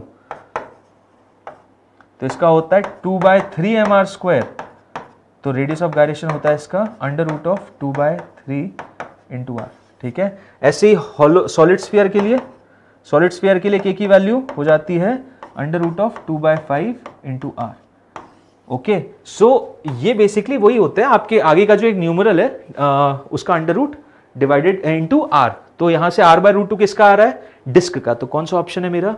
ऑप्शन नंबर डी डिस्क है। ठीक है? इस तरीके से आपको सॉल्व करना था। कि आप रेडियस ऑफ़ गायरेशन की वैल्यू पता करो और उसके बाद फिर finally based on the value of radius of gyration आप ये बताओगे कि वो जो मेरा सर्कुलर ऑब्जेक्ट है वो क्या डिस्क है होलोस्फियर है सॉलिड स्फीयर है कौन सा राउंड ऑब्जेक्ट है कैसे पता करेंगे ये सारी चीज़ें ठीक है? सो आई सपोज़ ये भी बड़ा अच्छा सा क्वेश्चन था थोड़ा लेंदी था बट uh, आप लोगों को ये समझ में आया होगा एंड कोई भी डाउट हो आस्क मी राइट अवे चलते हैं नेक्स्ट सवाल की तरफ़ ये भी बहुत ही बढ़िया क्वेश्चन है। और ये क्वेश्चन बेसिकली ऐसा भी जिसमें मैक्सिमम लोगों ने गलती भी की है ठीक है? तो देखो जरा एक क्वेश्चन क्या है। क्वेश्चन ये बोलता है तीन आइडेंटिकल स्फेरिकल शेल है। There are three identical spherical shell हर एक का मास स्मॉल एम है और रेडियस स्मॉल आर है ठीक है? तीन शेल्स हैं ये रही इसका एनलार्ज डायग्राम कुछ इस तरीके का है। Okay are placed as shown in the figure. Consider an axis xx dash, here axis xx dash, which is touching, touching to two shells and passing through the diameter of the third shell. Moment of inertia of the system consisting of these three spherical shells about xx dash कितना होगा? ठीक है, कोई दिक्कत नहीं। देखो तो इस एक्सिस के अबाउट मोमेंट ऑफ़ इनर्शिया पता करना है, इस एक्सिस के अबाउट ठीक है? ओके और ये इंडिविजुअली तीनों क्या है? ये स्फेरिकल शेल्स है मतलब ये हॉलोस्फियर्स है। दीज ऑल आर हॉलोस्फियर्स है। ओके अब देखो हॉलोस्फियर अगर है तो हॉलोस्फियर में डायमीटर के अबाउट जो एक्सेस पास होती है, उसके थ्रू मोमेंट ऑफ़ इनर्शिया कितना होता है? Two by three M R square होता है, ठीक है? Two by three M R square होता है। अब देखो एक्स एक्स डैश सर इसके डायमीटर के अबाउट तो पास हो रही है। बिल्कुल सही बात बोली आपने। इसके अबाउट डेफिनेटली वो पास हो रही है। तो इसके अबाउट इस एक्स एक्स के अबाउट इसका मोमेंट ऑफ़ इनर्शिया कितना हो जाएगा? Two by three M R square. लेकिन इनके डायमीटर से पास नहीं हो रही है। और हमें जो पता है होलोस्फियर का, वो डायमीटर के अबाउट पता है। तो कैसे करेंगे? तो हम बेसिकली क्या करेंगे? इनके डायमीटर के अबाउट मोमेंट ऑफ़ इनर्शिया पता करेंगे और फिर पैरेलल एक्सिस थ्योरम ले लेंगे, ठीक है? सो ये हो जाएगा आईसीओएम और आईसीओएम प्लस एम स्क्वायर करूँगा, तब जाके एक्स एक्स डैश के अलावा के अबाउट इस स्फेरिकल शेल का पता चलेगा और सिमिलरली इंटू टू कर दूँगा तो इसका भी सेम ही रहेगा। तो मुझे अगर फ़र्स्ट का पता करना है आई ऑफ़ फ़र्स्ट तो वो तो हो जाएगा simply two by three M R square किसके लिए? एक्स एक्स के अबाउट अगर आई टू की बात करूँ मैं सेकेंड का, इसका सेकेंड का, और ये मेरा थर्ड है। तो जो मेरा सेकेंड है, वही मेरा थर्ड के बराबर भी होगा, और वो कितना हो जाएगा? That is going to be centre of mass से पास होने वाली होती है two by three M R square plus M into जो भी डिस्टेंस है that is M R square तो ये अल्टीमेटली कितनी हो जाएगी? Two by five M R square ठीक है? सो ये सेकेंड या थर्ड दोनों के हिसाब से। तो अब अगर टोटल पता करना है मुझे, पूरे सिस्टम का आई एक्स एक्स के बाउट तो कितना हो जाएगा? Two by three M R square plus two times two by five M R square two times क्यों? क्योंकि इसका इसका दोनों का जोड़ना है। ठीक है? सो कितना हो जाएगा? फोर बाय फाइव एलसीएम ले लो यार, पंद्रह हो रहा है। पंद्रह। यहाँ पे पाँच होगा दस और यहाँ पे बारह। तो ट्वेंटी टू आ रहा है। है ना? फाइव टू ज़ा और twelve twenty two M R square by fifteen option है क्या? बाईस बाय पंद्रह। बाईस बाय पंद्रह ऑप्शन नहीं है। Three identical spherical shells each of mass M and radius R are place as shown in the figure consider axis is starting to two shells and passing through the diameter of the third बिल्कुल सही यार, ये तो two by five होगा। Two by three plus M into radius बिल्कुल R square three five अरे यार, ये क्या गलती कर दी मैंने? यहाँ मैंने गलती कर दी ना? ये देखो, यहाँ गलती कर दी है। क्या गलती की है यहाँ पे? इनको जोड़ा नहीं है। ये थ्री इधर जाएगा, ये हो जाएगा फाइव बाय थ्री ये हो जाएगा five by three M R square ठीक है? Five by three M R square होगा। तो यहाँ पे हो जाएगा two into five by three M R square और इसमें फिर फाइनली क्या आंसर आएगा? Ten plus two is twelve M R square by three जो कि finally four M R square होगा। ऑप्शन है फोर एम आर स्क्वायर ये रहा ऑप्शन नंबर डी ठीक है? So option number D is the correct one I suppose clear है आप सभी को? कोई भी डाउट है तो मुझे बताओ। अगर समझ में आ गया तो टेल मी लाइक दो यार थम्स अप दो। एंड कोई भी इश्यू है यू कैन आस्क मी ठीक है? सो ये रहा इसका पूरा एनालिसिस हमने बेसिकली इसमें क्या किया? इस एक्सिस के अबाउट पता करने के लिए इसका तो ऑलरेडी पता ही था हमें। इन दोनों का हमने पैरेलल एक्सिस थ्योरम की हेल्प से फटाफट पता कर लिया। ठीक है सर ओके आगे बढ़ते हैं नेक्स्ट सवाल की तरफ़। नेक्स्ट सवाल क्या है? Cart of mass M is tied to one end of a massless rope of length 10 m ठीक है? The other end of the rope is in the hands of a man of uh, mass capital M. The entire system is on a smooth horizontal surface. The man is at x is equal to 0 and the cart is at x is equal to 10 meter. If the man pulls the cart by the rope, the man and the cart will meet at the point ठीक है? बहुत ही प्यारा question बहुत ही amazing सा question है। और देखो इसका आंसर देख के आना चाहिए आपको। इसका आंसर आपको देख के आना चाहिए समझ में आना चाहिए कि आंसर क्या है। ठीक है? सौ देखते हैं। क्या सेम सिंपल सा गेम हो रहा है? सिंपल सा गेम ये है कि एक कार्ट है। ठीक है? ये रहा एक कार्ट और ये एक प्लेटफॉर्म पे अब ये कार्ट को एक पर्सन खींच रहा है यहाँ पे। ठीक है, एक रस्सी से, जिसकी लंबाई 10 मीटर है। ठीक, दोनों कार्ट का मास भी एम है और इस मैन का मास भी एम है। अब एंटायर सिस्टम जो है, वो एक स्मूथ हॉरिजॉन्टल सरफेस पे रखा है। ये जो है, ये बेसिकली स्मूथ है। ये जो है, ये एक स्मूथ है। स्मूथ सरफेस पे रखा है। दोनों जो है स्मूथ सरफेस मतलब फ्रिक्शन का कोई एलिमेंट नहीं है। The man at is at X is equal to zero man X is equal to zero पे है और cart X is equal to ten पे है। अब ये बताओ if the man pulls the cart by the rope the man and the cart will meet at the point तो देखो, होगा क्या? ये मैन यहाँ से उस कार्ट को खींचना चाहेगा। मैन कार्ट को खींचना चाहेगा। तो मैन उस पे रोप पे टेंशन फोर्स लगाएगा। वही सेम टेंशन फोर्स इस मास पे इधर लगेगा। लेकिन वही टेंशन फोर्स उस मैन पे जो फोर्स लगा रही होगी, वो दूसरे काट की तरफ़ लगा रही होगी। मतलब मैन पे एक फोर्स लग रहा हो इधर काट पे लग रहा हो इधर। ओवरऑल दोनों की सिस्टम की बात करूँगा तो नेट फोर्स ज़ीरो हो जाएगा। और क्योंकि नेट फोर्स ज़ीरो है सिस्टम पे तो सिस्टम का सेंटर ऑफ़ मास कहीं एक्सेलरेट ही नहीं करेगा। पूरे सिस्टम पे नेट फोर्स ज़ीरो है। सिस्टम पे पूरा नेट फोर्स ज़ीरो है, इसका मतलब सेंटर ऑफ़ मास का एक्सेलरेशन ज़ीरो मतलब सेंटर ऑफ़ मास पहले जहाँ था, वहीं रहेगा, उसकी स्पीड उतनी रहेगी। पहले रेस्ट पे था, बाद में भी रेस्ट पे रहेगा मतलब वो हिला ही नहीं। और अगर वो हिला ही नहीं तो उसकी पोजीशन हिलेगी ही नहीं। तो पोजीशन कितनी होगी? दोनों मासेस बराबर हैं। पोजीशन यहाँ पे होगी ना X is equal to five पे। This is the position of centre of mass तो ये बिल्कुल भी हिलेगा नहीं है दोनों बंदे आपस में एक दूसरे के पास आते रहेंगे, थोड़ा ही आगे बढ़ेगा आगे बढ़ेगा, बराबर बढ़ेंगे और फाइनली कहाँ जाके मिलेंगे? X इक्वल्स टू फाइव पे। सो मैन अगर कार्ट को पुल करेगा तो man and the cart will meet at x is equal to five which is the location of your centre of mass I think आप सभी को ये चीज़ समझ में आई होगी किस तरीके से हमने सेंटर ऑफ़ मास का कॉन्सेप्ट लगाया और इसको सॉल्व किया है। This is the manner in which we solve it ठीक है? ओके सर आगे बढ़ते हैं. नेक्स्ट क्वेश्चन नेक्स्ट क्वेश्चन क्या है? नेक्स्ट क्वेश्चन ये you need to just remember it एक ट्यूब लेंथ है एल की. Is filled completely with an incompressible liquid of mass capital M and closed at both the ends दोनों end पे closed है. दोनों एंड पे ये क्लोज्ड है. ठीक है. The tube is then rotated in horizontal plate about one of its ends अपने किसी एंड के अबाउट इसको मूव कर रहे हैं with uniform angular velocity omega the force exerted by the liquid at the other end is the force कितना exert करोगे? About the other end okay so यहाँ पे बेसिकली देखो यार कॉन्सेप्ट आ जाता है आपका सेंट्रीफ्यूगल फोर्स का, ठीक है? तो सेंट्रीफ्यूगल फोर्स का कॉन्सेप्ट ये है कि यार, इसके अंदर जो जितना भी पूरा लिक्विड है, उसको आप रोटेट कर रहे हो एक ओमेगा एंगुलर वेलोसिटी से, ठीक है? और ओमेगा एंगुलर वेलोसिटी से अगर आप रोटेट कर रहे हो तो जो फोर्स लग रहा होगा उस पर अंदर की तरफ़ लग रहा होगा, कौन लगाएगा? आउटर वॉल लगाएगी। पूरे लिक्विड पे अंदर की तरफ़ तो लिक्विड वॉल पे बाहर की तरफ़ लगाएगा। ये जो फोर्स हो जाएगा, कितना हो जाएगा? This is going to be this entire force is going to be M omega square R square M omega square R by two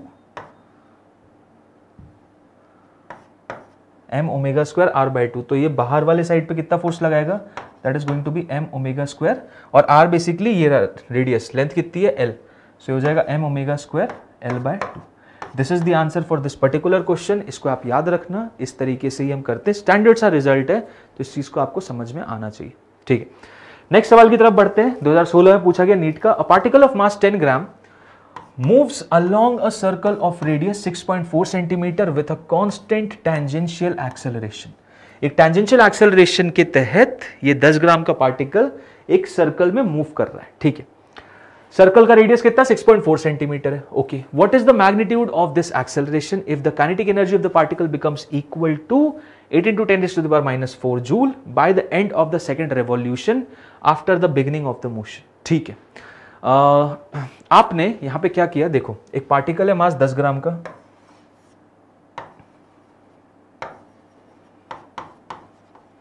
दस ग्राम का पार्टिकल है। वो सर्कल में मूव हो रहा है और सर्कल का रेडियस कितना है? सर्कल का रेडियस है 6.4 सेंटीमीटर ठीक है। With a constant tangential acceleration जो एक्सेलरेशन है वो कितनी है? That is constant tangential acceleration है ठीक है what is the magnitude of this acceleration if the kinetic energy of particle becomes equal to 8 into 10 raised to the power minus 4 by the end of the second revolution after the beginning of the motion ठीक है कोई दिक्कत नहीं हमने second revolution तक मतलब दो revolution basically घुमाया तो थीटा की वैल्यू कितनी हो गई थीटा की वैल्यू हो जाएगी two point two T pi यानी फोर पाई हमने दो रेवोल्यूशन घुमाया इतने रेवोल्यूशन घुमाया और इनिशियल वेलोसिटी उसकी कितनी थी इनिशियल वेलोसिटी उसकी ज़ीरो थी ठीक है। तो मुझे ये बताना है कि एक्सेलरेशन का मैग्नीट्यूड कितना होगा जिससे कि फाइनल काइनेटिक एनर्जी मेरी ये आ रही है। तो फाइनल काइनेटिक एनर्जी से क्या मैं ओमेगा नहीं बता सकता? बिल्कुल बता सकता हूँ। फाइनल काइनेटिक एनर्जी कितनी हो जाएगी? That is going to be half of M into V square ये हो जाएगी मेरी काइनेटिक एनर्जी ठीक है। सो so, इसको रिलेट करते हैं। Eight into ten raise to the power minus four is equal to half into M की वैल्यू कितनी है? Ten by one thousand into V square velocity का है वेलोसिटी का है वेलोसिटी का है वेलोसिटी का है। वेलोसिटी तो पता करनी है। ठीक है, पता करते ten raise to the power minus four तो देखो, एक ज़ीरो यहाँ लो, एक ज़ीरो यहाँ लो। इससे क्या होगा, ये ten raise to the power minus four इस ten raise to minus four को कैंसिल कर देगा। ये इधर जाएगा, सोलह हो जाएगा, सोलह बाय हंड्रेड तो v की वैल्यू हो जाएगी चार बटे दस, यानी ज़ीरो पॉइंट फोर मीटर पर सेकेंड ये हो गया क्या? ये हो गई मेरी वेलोसिटी ये हो गई मेरी फाइनल वेलोसिटी ठीक है. सो फाइनल वेलोसिटी ये है. तो हमें टेंजेंशियल एक्सेलरेशन पता करना है ना यार? तो टेंजेंशियल एक्सेलरेशन पता करने के लिए, ठीक है ओमेगा की ज़रूरत पड़ेगी राइट सो फाइनल वेलोसिटी ये रही. तो final velocity divided by radius कर दोगे. V बाय आर करोगे. तो कितना आ जाएगा मेरा? Omega will be equal to final velocity divided by R final velocity है 0.4 डिवाइडेड बाय रेडियस कितना है? 6.4 centimetre so 6.4 point four into ten to minus two जो कि ऊपर चला जाएगा और हो जाएगा 100 ठीक, ये इससे जाएगा, ये जाएगा 16 से.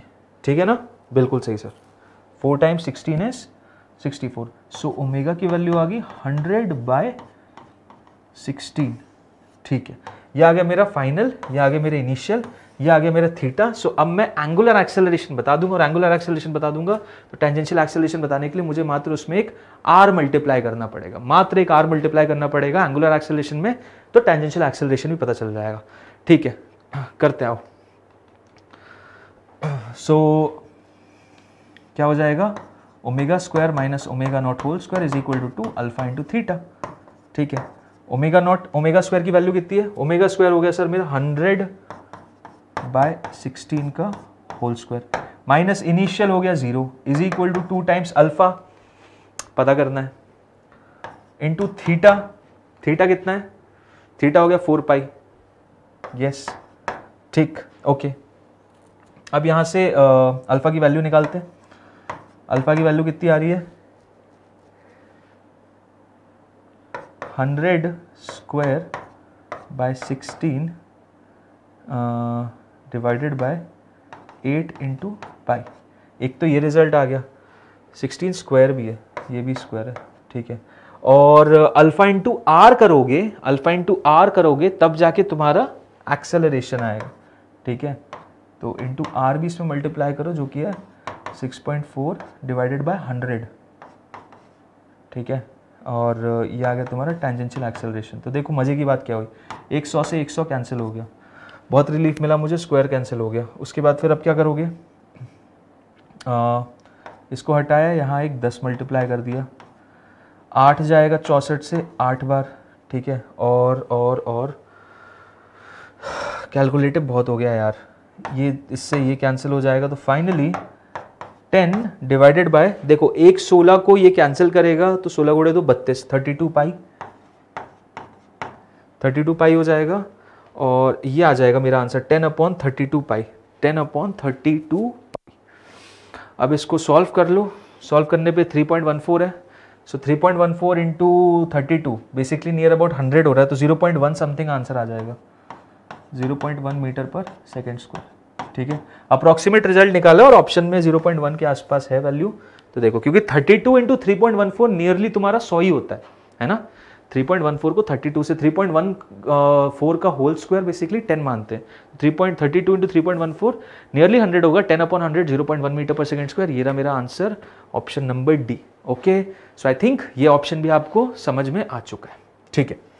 नेक्स्ट सवाल की तरफ़ बढ़ते हैं। Ball is thrown vertically downward from height of 20 metre collision का क्वेश्चन है, बड़ा अच्छा क्वेश्चन है। देखो सब आई वांट कि आप सब इसको एक्सपेक्ट क्या बोलते हैं ट्राई भी करो और जो लोग ट्राई कर ले तो बताना मुझे आंसर देना। A ball is thrown vertically downward from height of 20 metre तो देखो 20 मीटर की हाइट पे गया मैं।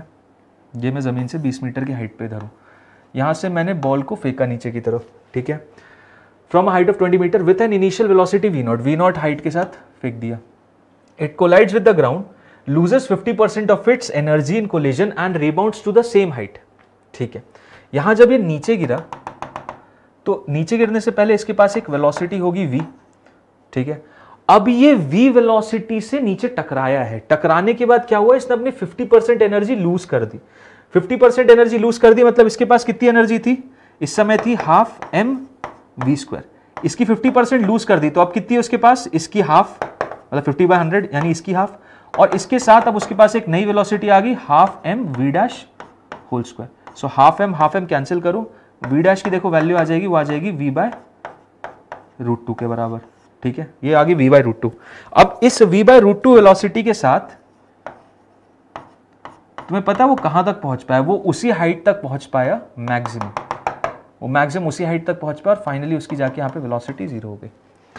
सो अब तुम्हें बताना है वी नॉट की वैल्यू अब बतानी तुम्हें वी नॉट की वैल्यू ठीक है? कोई नहीं बताते. पहले तो इनके बीच में एक रिलेशन ले लो ये फाइनल वेलोसिटी ज़ीरो ये रहा तो V square minus U square equal to two S कर देते हैं. सो so, यहाँ पे V square minus U square यानी zero minus V square by two is equal to two into acceleration नीचे की तरफ़ है। कितनी है? Minus G into height H ठीक है? सो so, यहाँ से एक रिलेशन तो तुम्हें ये मिल गया कि वी स्क्वायर की जो वैल्यू आ रही है वो four times G into H के बराबर आ रही है। ठीक है? वो कितनी आ रही है? वी स्क्वायर की वैल्यू कितनी आ रही है? Four times g into h के बराबर आ रही है। Okay okay. अब यहाँ पे इन दोनों के बीच में भी रिलेशन ले लो। यहाँ पे वेलोसिटी कितनी वी है? यहाँ पे कितनी है? तुम्हारी यहाँ हो गई वी नॉट तो यहाँ पे भी रिलेशन वही ले लेते हैं। कि final velocity v square minus v nought whole square is equal to two into g into h ठीक है सर परफेक्ट परफेक्ट अब वी स्क्वायर की जगह क्या रख दोगे? वी स्क्वायर की जगह रख दोगे four g h v square की जगह four g h v nought उधर चला जाएगा। हमें इनिशियल वेलोसिटी पता करनी है ना? और हाइट भी दे रखी है हमें। हाँ ठीक है। तो वी स्क्वायर की जगह four g h four g h में से टू जी एच जाएगा तो बचेगा कितना? वी नॉट स्क्वायर की वैल्यू आ जाएगी टू जी एच के बराबर। ठीक है। अब वैल्यू रख दो, अब समय आ गया। Two into twenty metre into ten into twenty basically ये वी नॉट की वैल्यू आ गई ट्वेंटी मीटर पर सेकेंड देखो, कितने आराम से निकाल दिया। ऑप्शन नंबर बी है करेक्ट आंसर ठीक है। जिस जिसको समझ नहीं आया, बताओ। जिस जिसको समझ में आया थम्स अप दो यार। यूट्यूब बाबा को पता चलना चाहिए कि हम कुछ बहुत अमेजिंग सा कर रहे हैं। जिससे उसका एल्गो इसको फ्लरिश करे वहाँ जिस, जिसको ज़रूरत है, वो चीज़ें ये देख पाए, ठीक है? ओके चलो तो वी नॉट की वैल्यू आ गई मेरी 20 मीटर पर सेकेंड आगे बढ़ते हैं नेक्स्ट सवाल की तरफ़. 300 joule of work is done in sliding a 2 kg block up an inclined plane on a height of height 10 meter. Taking g equals to 10 meter per second square work done against friction is work done कितना होगा against friction ठीक है? क्या बोला? 300 joule of work करना पड़ रहा है, एक दो के ब्लॉक को up an incline of height ten metre भाई, ये इंक्लाइन है, ठीक है? यहाँ पे एक ब्लॉक है। अब इस ब्लॉक पे तुम फोर्स लगा रहे हो, और फोर्स कैसे भी लगा रहे हो, उससे मतलब नहीं है फोर्स लगा रहे हो, जिस वजह से तुम उस पर वर्क कर रहे हो। अब तुम वर्क कर रहे हो तो तुम्हें, तुम्हारा वर्क कहाँ कहाँ यूज़ हो रहा है, ये देखने की बात है। पहली बात तो तुम्हारा एक वर्क जा रहा होगा, इसको पोटेंशियल एनर्जी देने में बिल्कुल सही बात। और दूसरा जो तुम्हारा वर्क जा रहा होगा, वो जा रहा होगा work done against friction work friction के जो वर्क डन है, उसको कैंसिल आउट करने में। तो अल्टीमेटली यहाँ पे देखो गेम तो सिंपल यही है, जितना भी 300 जूल तुमने किया है, उसमें से एक पोर्शन जाएगा एमजीएच बढ़ाने में और एक जाएगा तुम्हारा फ्रिक्शन के अगेंस्ट वर्क डन करने में। एमजीएच की वैल्यू कितनी है? मास इसका है two so two into ten into n into ten so दो सौ जूल तो तुम्हारी एमजीएच में चलेगी और बाकी सौ जूल कहाँ चली जाएगी तुम्हारी? वर्क डन अगेंस्ट फ्रिक्शन में. अगर ऐसे नहीं समझ में आया तो तुम वर्क एनर्जी थ्योरम लेके यूज़ कर लेना. डेल्टा के डेल्टा के तो ज़ीरो है क्योंकि उसने बोल दिया इनिशियली भी रेस्ट पे और फाइनली भी रेस्ट पे और वेलोसिटी का कोई एलिमेंट ही नहीं है. So delta k plus delta u is equal to work done by external force plus work done by non conservative ठीक है? सो अब तुम्हें ये चीज़ तो ज़ीरो है डेल्टा यू ये तुम्हें एक्सटर्नल पता है, तीन सौ है। Work done by non conservative friction तुम्हें पता करना है, और ये दे दिया तुम्हें डेल्टा यू की वैल्यू कितनी हो जाएगी 200 के बराबर। तो वर्क डन बाय फ्रिक्शन आ जाएगा यहाँ से माइनस हंड्रेड हंड्रेड तो होता ही है। फ्रिक्शन की वजह से जो वर्क डन होता है, वो तो हंड्रेड होता ही है है ना? तो ठीक है सर, इससे समझ में आ जाएगा माइनस हंड्रेड जूल और final answer option number b okay ठीक है सर। आगे बढ़ते हैं। Potential energy of a particle in a force field एक फोर्स फ़ील्ड में पोटेंशियल एनर्जी कुछ इस तरीके से दिखाई जाती है। U is equal to a by r square minus b by r u की जो वैल्यू है that is a by r square minus of b by r ठीक है। अब ये बताओ स्टेबल इक्विलिब्रियम के लिए डिस्टेंस ऑफ़ द पार्टिकल कितना होना चाहिए? ठीक है। स्टेबल इक्विलिब्रियम का कॉन्सेप्ट कहाँ से आता है? स्टेबल इक्विलिब्रियम का कॉन्सेप्ट आता है आपका, वहाँ से जहाँ पे आपका नेट फोर्स ज़ीरो हो जाता है। नेट फोर्स ज़ीरो मतलब जो एफ़ की वैल्यू है that is minus of d u by d r ये ज़ीरो हो जाएगी और जहाँ पे ज़ीरो होगी, वहीं पे आपका इक्विलिब्रियम का कॉन्सेप्ट आएगा। तो अब इसको कैसे डिफाइन करें? इसको डिफ्रेंशिएट कर दो। इसको डिफ्रेंशिएट करोगे, कितनी वैल्यू आ रही है? इसकी वैल्यू आ जाएगी minus of two a by r plus b is equal to zero तो आर की वैल्यू कितनी आ रही है? आर की वैल्यू आ जाएगी बी उधर जाएगा तो टू ए बाय बी के बराबर। टू ए बाय बी के बराबर। ये आ गई मेरी आर की वैल्यू ठीक है? ये वो मेरी पोजीशन है जहाँ पे इक्विलिब्रियम मेंटेन कर रहा है। अब स्टेबल इक्विलिब्रियम के लिए बेसिकली क्या होना चाहिए? तो इसको डबल डिफ्रेंशिएट करोगे अगर आप, इसको अगर मान लो आप डबल डिफ्रेंशिएट करते हो। एक मिनट एक मिनट एक मिनट। हम्म मैंने गलत डिफ्रेंशिएशन कर दिया यार। देखो ये हो जाएगा r s to minus two a by r cube और ये हो जाएगा बी बाय आर स्क्वायर ठीक है? ये आ गया रिज़ल्ट अब, अगर मुझे स्टेबल इक्विलिब्रियम चेक करना है तो स्टेबल इक्विलिब्रियम चेक करने का देखो सबसे बेस्ट तरीका तो ये होता है कि आर की जो वैल्यू आई ना two a by b r की जो वैल्यू आ रही है टू ए बाय बी इससे छोटी एक वैल्यू ले लो और इससे ज़्यादा की वैल्यू ले लो और स्लोप चेक कर लो। और दूसरा तरीका होता है इसको एक बार डिफरेंशिएट डबल डिफरेंशिएट कर दो और वैल्यू चेक कर लो। सो डबल डिफरेंशिएट जब तुम करोगे तो देखो कितना आंसर आ जाएगा। इसको करते तो ये six a upon r raise to the power four आ जाएगा। साथ ही साथ this will turn out to be minus two b upon r raise to the power three इसकी वैल्यू कितनी आएगी? यहाँ पे आर की वैल्यू पुट ऑन करोगे और आर की वैल्यू पुट ऑन करोगे तो बेसिकली आप देखोगे, जो आपका रिज़ल्ट आ रहा है that is going to be greater than zero ठीक है? ग्रेटर देन ज़ीरो आएगा वो आर वैल्यू रखने पे मतलब ये स्मॉल आर पे केस क्या हो रहा है तुम्हारा? स्टेबल इक्विलिब्रियम का हो रहा है। और स्टेबल इक्विलिब्रियम का केस बन रहा है तो ये रही पोजीशन कितनी होनी चाहिए? Two a by b option number b तो यही पूछ रहा है for stable equilibrium the distance of the particle कितना होना चाहिए? और तुम डबल डिफरेंशिएट मत भी करो। इसको डबल डिफरेंशिएशन चेक करके ये भी मत देखो कि पॉजिटिव है कि नेगेटिव है। तुम तो बस एक केस ये देखो यार। सिंपल सी चीज़ एक ही वैल्यू आ रही है आर की। आर की कितनी वैल्यू आ रही है? आर की एक ही वैल्यू आएगी। ठीक है? और आर की अगर एक ही वैल्यू आ रही है तो उसके अकॉर्डिंग एक चीज़ क्लियर है कि आपका उसी वैल्यू पे स्टेबल इक्विलिब्रियम अराइज करेगा। उसके अलावा और किसी वैल्यू पे स्टेबल इक्विलिब्रियम का केस ही नहीं बनता क्योंकि एक ही वैल्यू आ रही है तो और कोई सी वैल्यू तो आ ही नहीं सकती। समझ रहे हो बात को? तो ये हो गया इस क्वेश्चन का एनालिसिस ठीक है? नेक्स्ट सवाल की तरफ़ चलते हैं। नेक्स्ट सवाल है stone is thrown at an angle of 45 degree to the horizontal with kinetic energy के काइनेटिक एनर्जी के के साथ लीव किया। Kinetic energy at the highest point सबसे हाईएस्ट पॉइंट पे कितनी हो जाएगी? सो so, देखो यहाँ पे क्या केस है? एक स्टोन को मैंने 45 डिग्री के एंगल पे प्रोजेक्ट किया, ठीक है? इसके पास जो काइनेटिक एनर्जी थी, इस समय के थी, ठीक है? हाईएस्ट पॉइंट पे जब वो जाएगा तो तब उसके पास क्या काइनेटिक एनर्जी हो जाएगी? के डैश ये बताना है। ठीक है सर, कोई दिक्कत नहीं, बता देते हैं। यहाँ पे काइनेटिक एनर्जी होगी हाफ़ एम यू स्क्वायर जब इसकी वेलोसिटी यू थी। अब यहाँ पे उसके पास एनर्जी कितनी है? यहाँ पे वेलोसिटी कितनी है? यहाँ पे मात्र यू कॉस 45 है। तो यहाँ जो के डैश होगी, कितनी हो जाएगी? Half m u cos 45 whole square simple as that ये हो जाएगी मेरी के डैश अभी के डैश के से कैसे रिलेटेड रहेगी? ये पता करना है, ठीक है? So half m u square तो के ही हो जाएगा और कॉस फोर्टी फाइव कितना हो जाएगा? वन बाय रूट टू का whole square one by two होता है। तो के डैश की जो वैल्यू हो जाएगी वो के बाय टू के बराबर होगी। समझ में आया?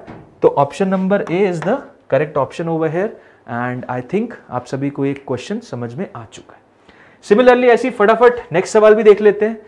A child is swinging a swing, minimum and maximum height of the swing from the earth's surface are 0.75 and 2 meter respectively. The maximum velocity of the swing is very simple, very simple. क्या दिक्कत है maximum velocity का case तब बनेगा जब तुम जो सबसे लोएस्ट हाइट है उस पर मान लो वी मैक्स आ रहा है और सबसे मैक्सिमम हाइट पे वी इक्वल टू ज़ीरो आ गया ठीक है इस पे मैक्सिमम हाइट है जब 0.75 मीटर अर्थ से 0.75 मीटर पे जब हो तब वी मैक्स हो गया ऊपर की तरफ़ जाने वाला और फाइनली जब दो मीटर हाइट पे होता है वेलोसिटी ज़ीरो ठीक है? ये रहा ज़ीरो पॉइंट सेवन फाइव और ये रहा तुम्हारा दो मीटर। अब इसके बीच में क्या करना है बेसिकली डेल्टा के प्लस डेल्टा यू सो यहाँ पे हाफ़ एम वी स्क्वायर हो जाएगा। M G into H two minus H one मतलब दो में से ज़ीरो पॉइंट सेवन फाइव जाओगा, यानी one point two five metre के बराबर हो जाएगी। एम एम कैंसिल होगा टू इधर जाएगा, ये हो जाएगा two point five so v square की वैल्यू हो जाएगी 2.5 point five into G is so V की वैल्यू कितनी आ गई? Five meter per second answer क्या है मेरा? Option number A that is five meter per second ठीक है? ऐसे ही सिमिलरली अगला क्वेश्चन क्या है? देखो कितने फटाफट हम आंसर निकाल रहे हैं। यही स्पीड होनी चाहिए हमारी भी. An object of mass 500 gram initially at rest acted upon by a variable force whose x component varies with. ठीक है? ग्राफ अगर इतना क्लियर नहीं दिख रहा तो मैं थोड़ा आउटलाइन कर दूँगा. In the manner shown the velocities of the object at point x is equal to 8 meter and x is equal to 12 meter would be x is equal to 8 और x is equal to 12 पे इसकी क्या होंगी velocity क्या होंगी हमें ये बताना है ठीक है सर बता देते कोई नहीं पहले ज़रा ग्राफ थोड़ा अच्छे ड्रॉ करो ग्राफ ये रहा इस तरीके से जा रहा है अच्छा इधर नहीं गया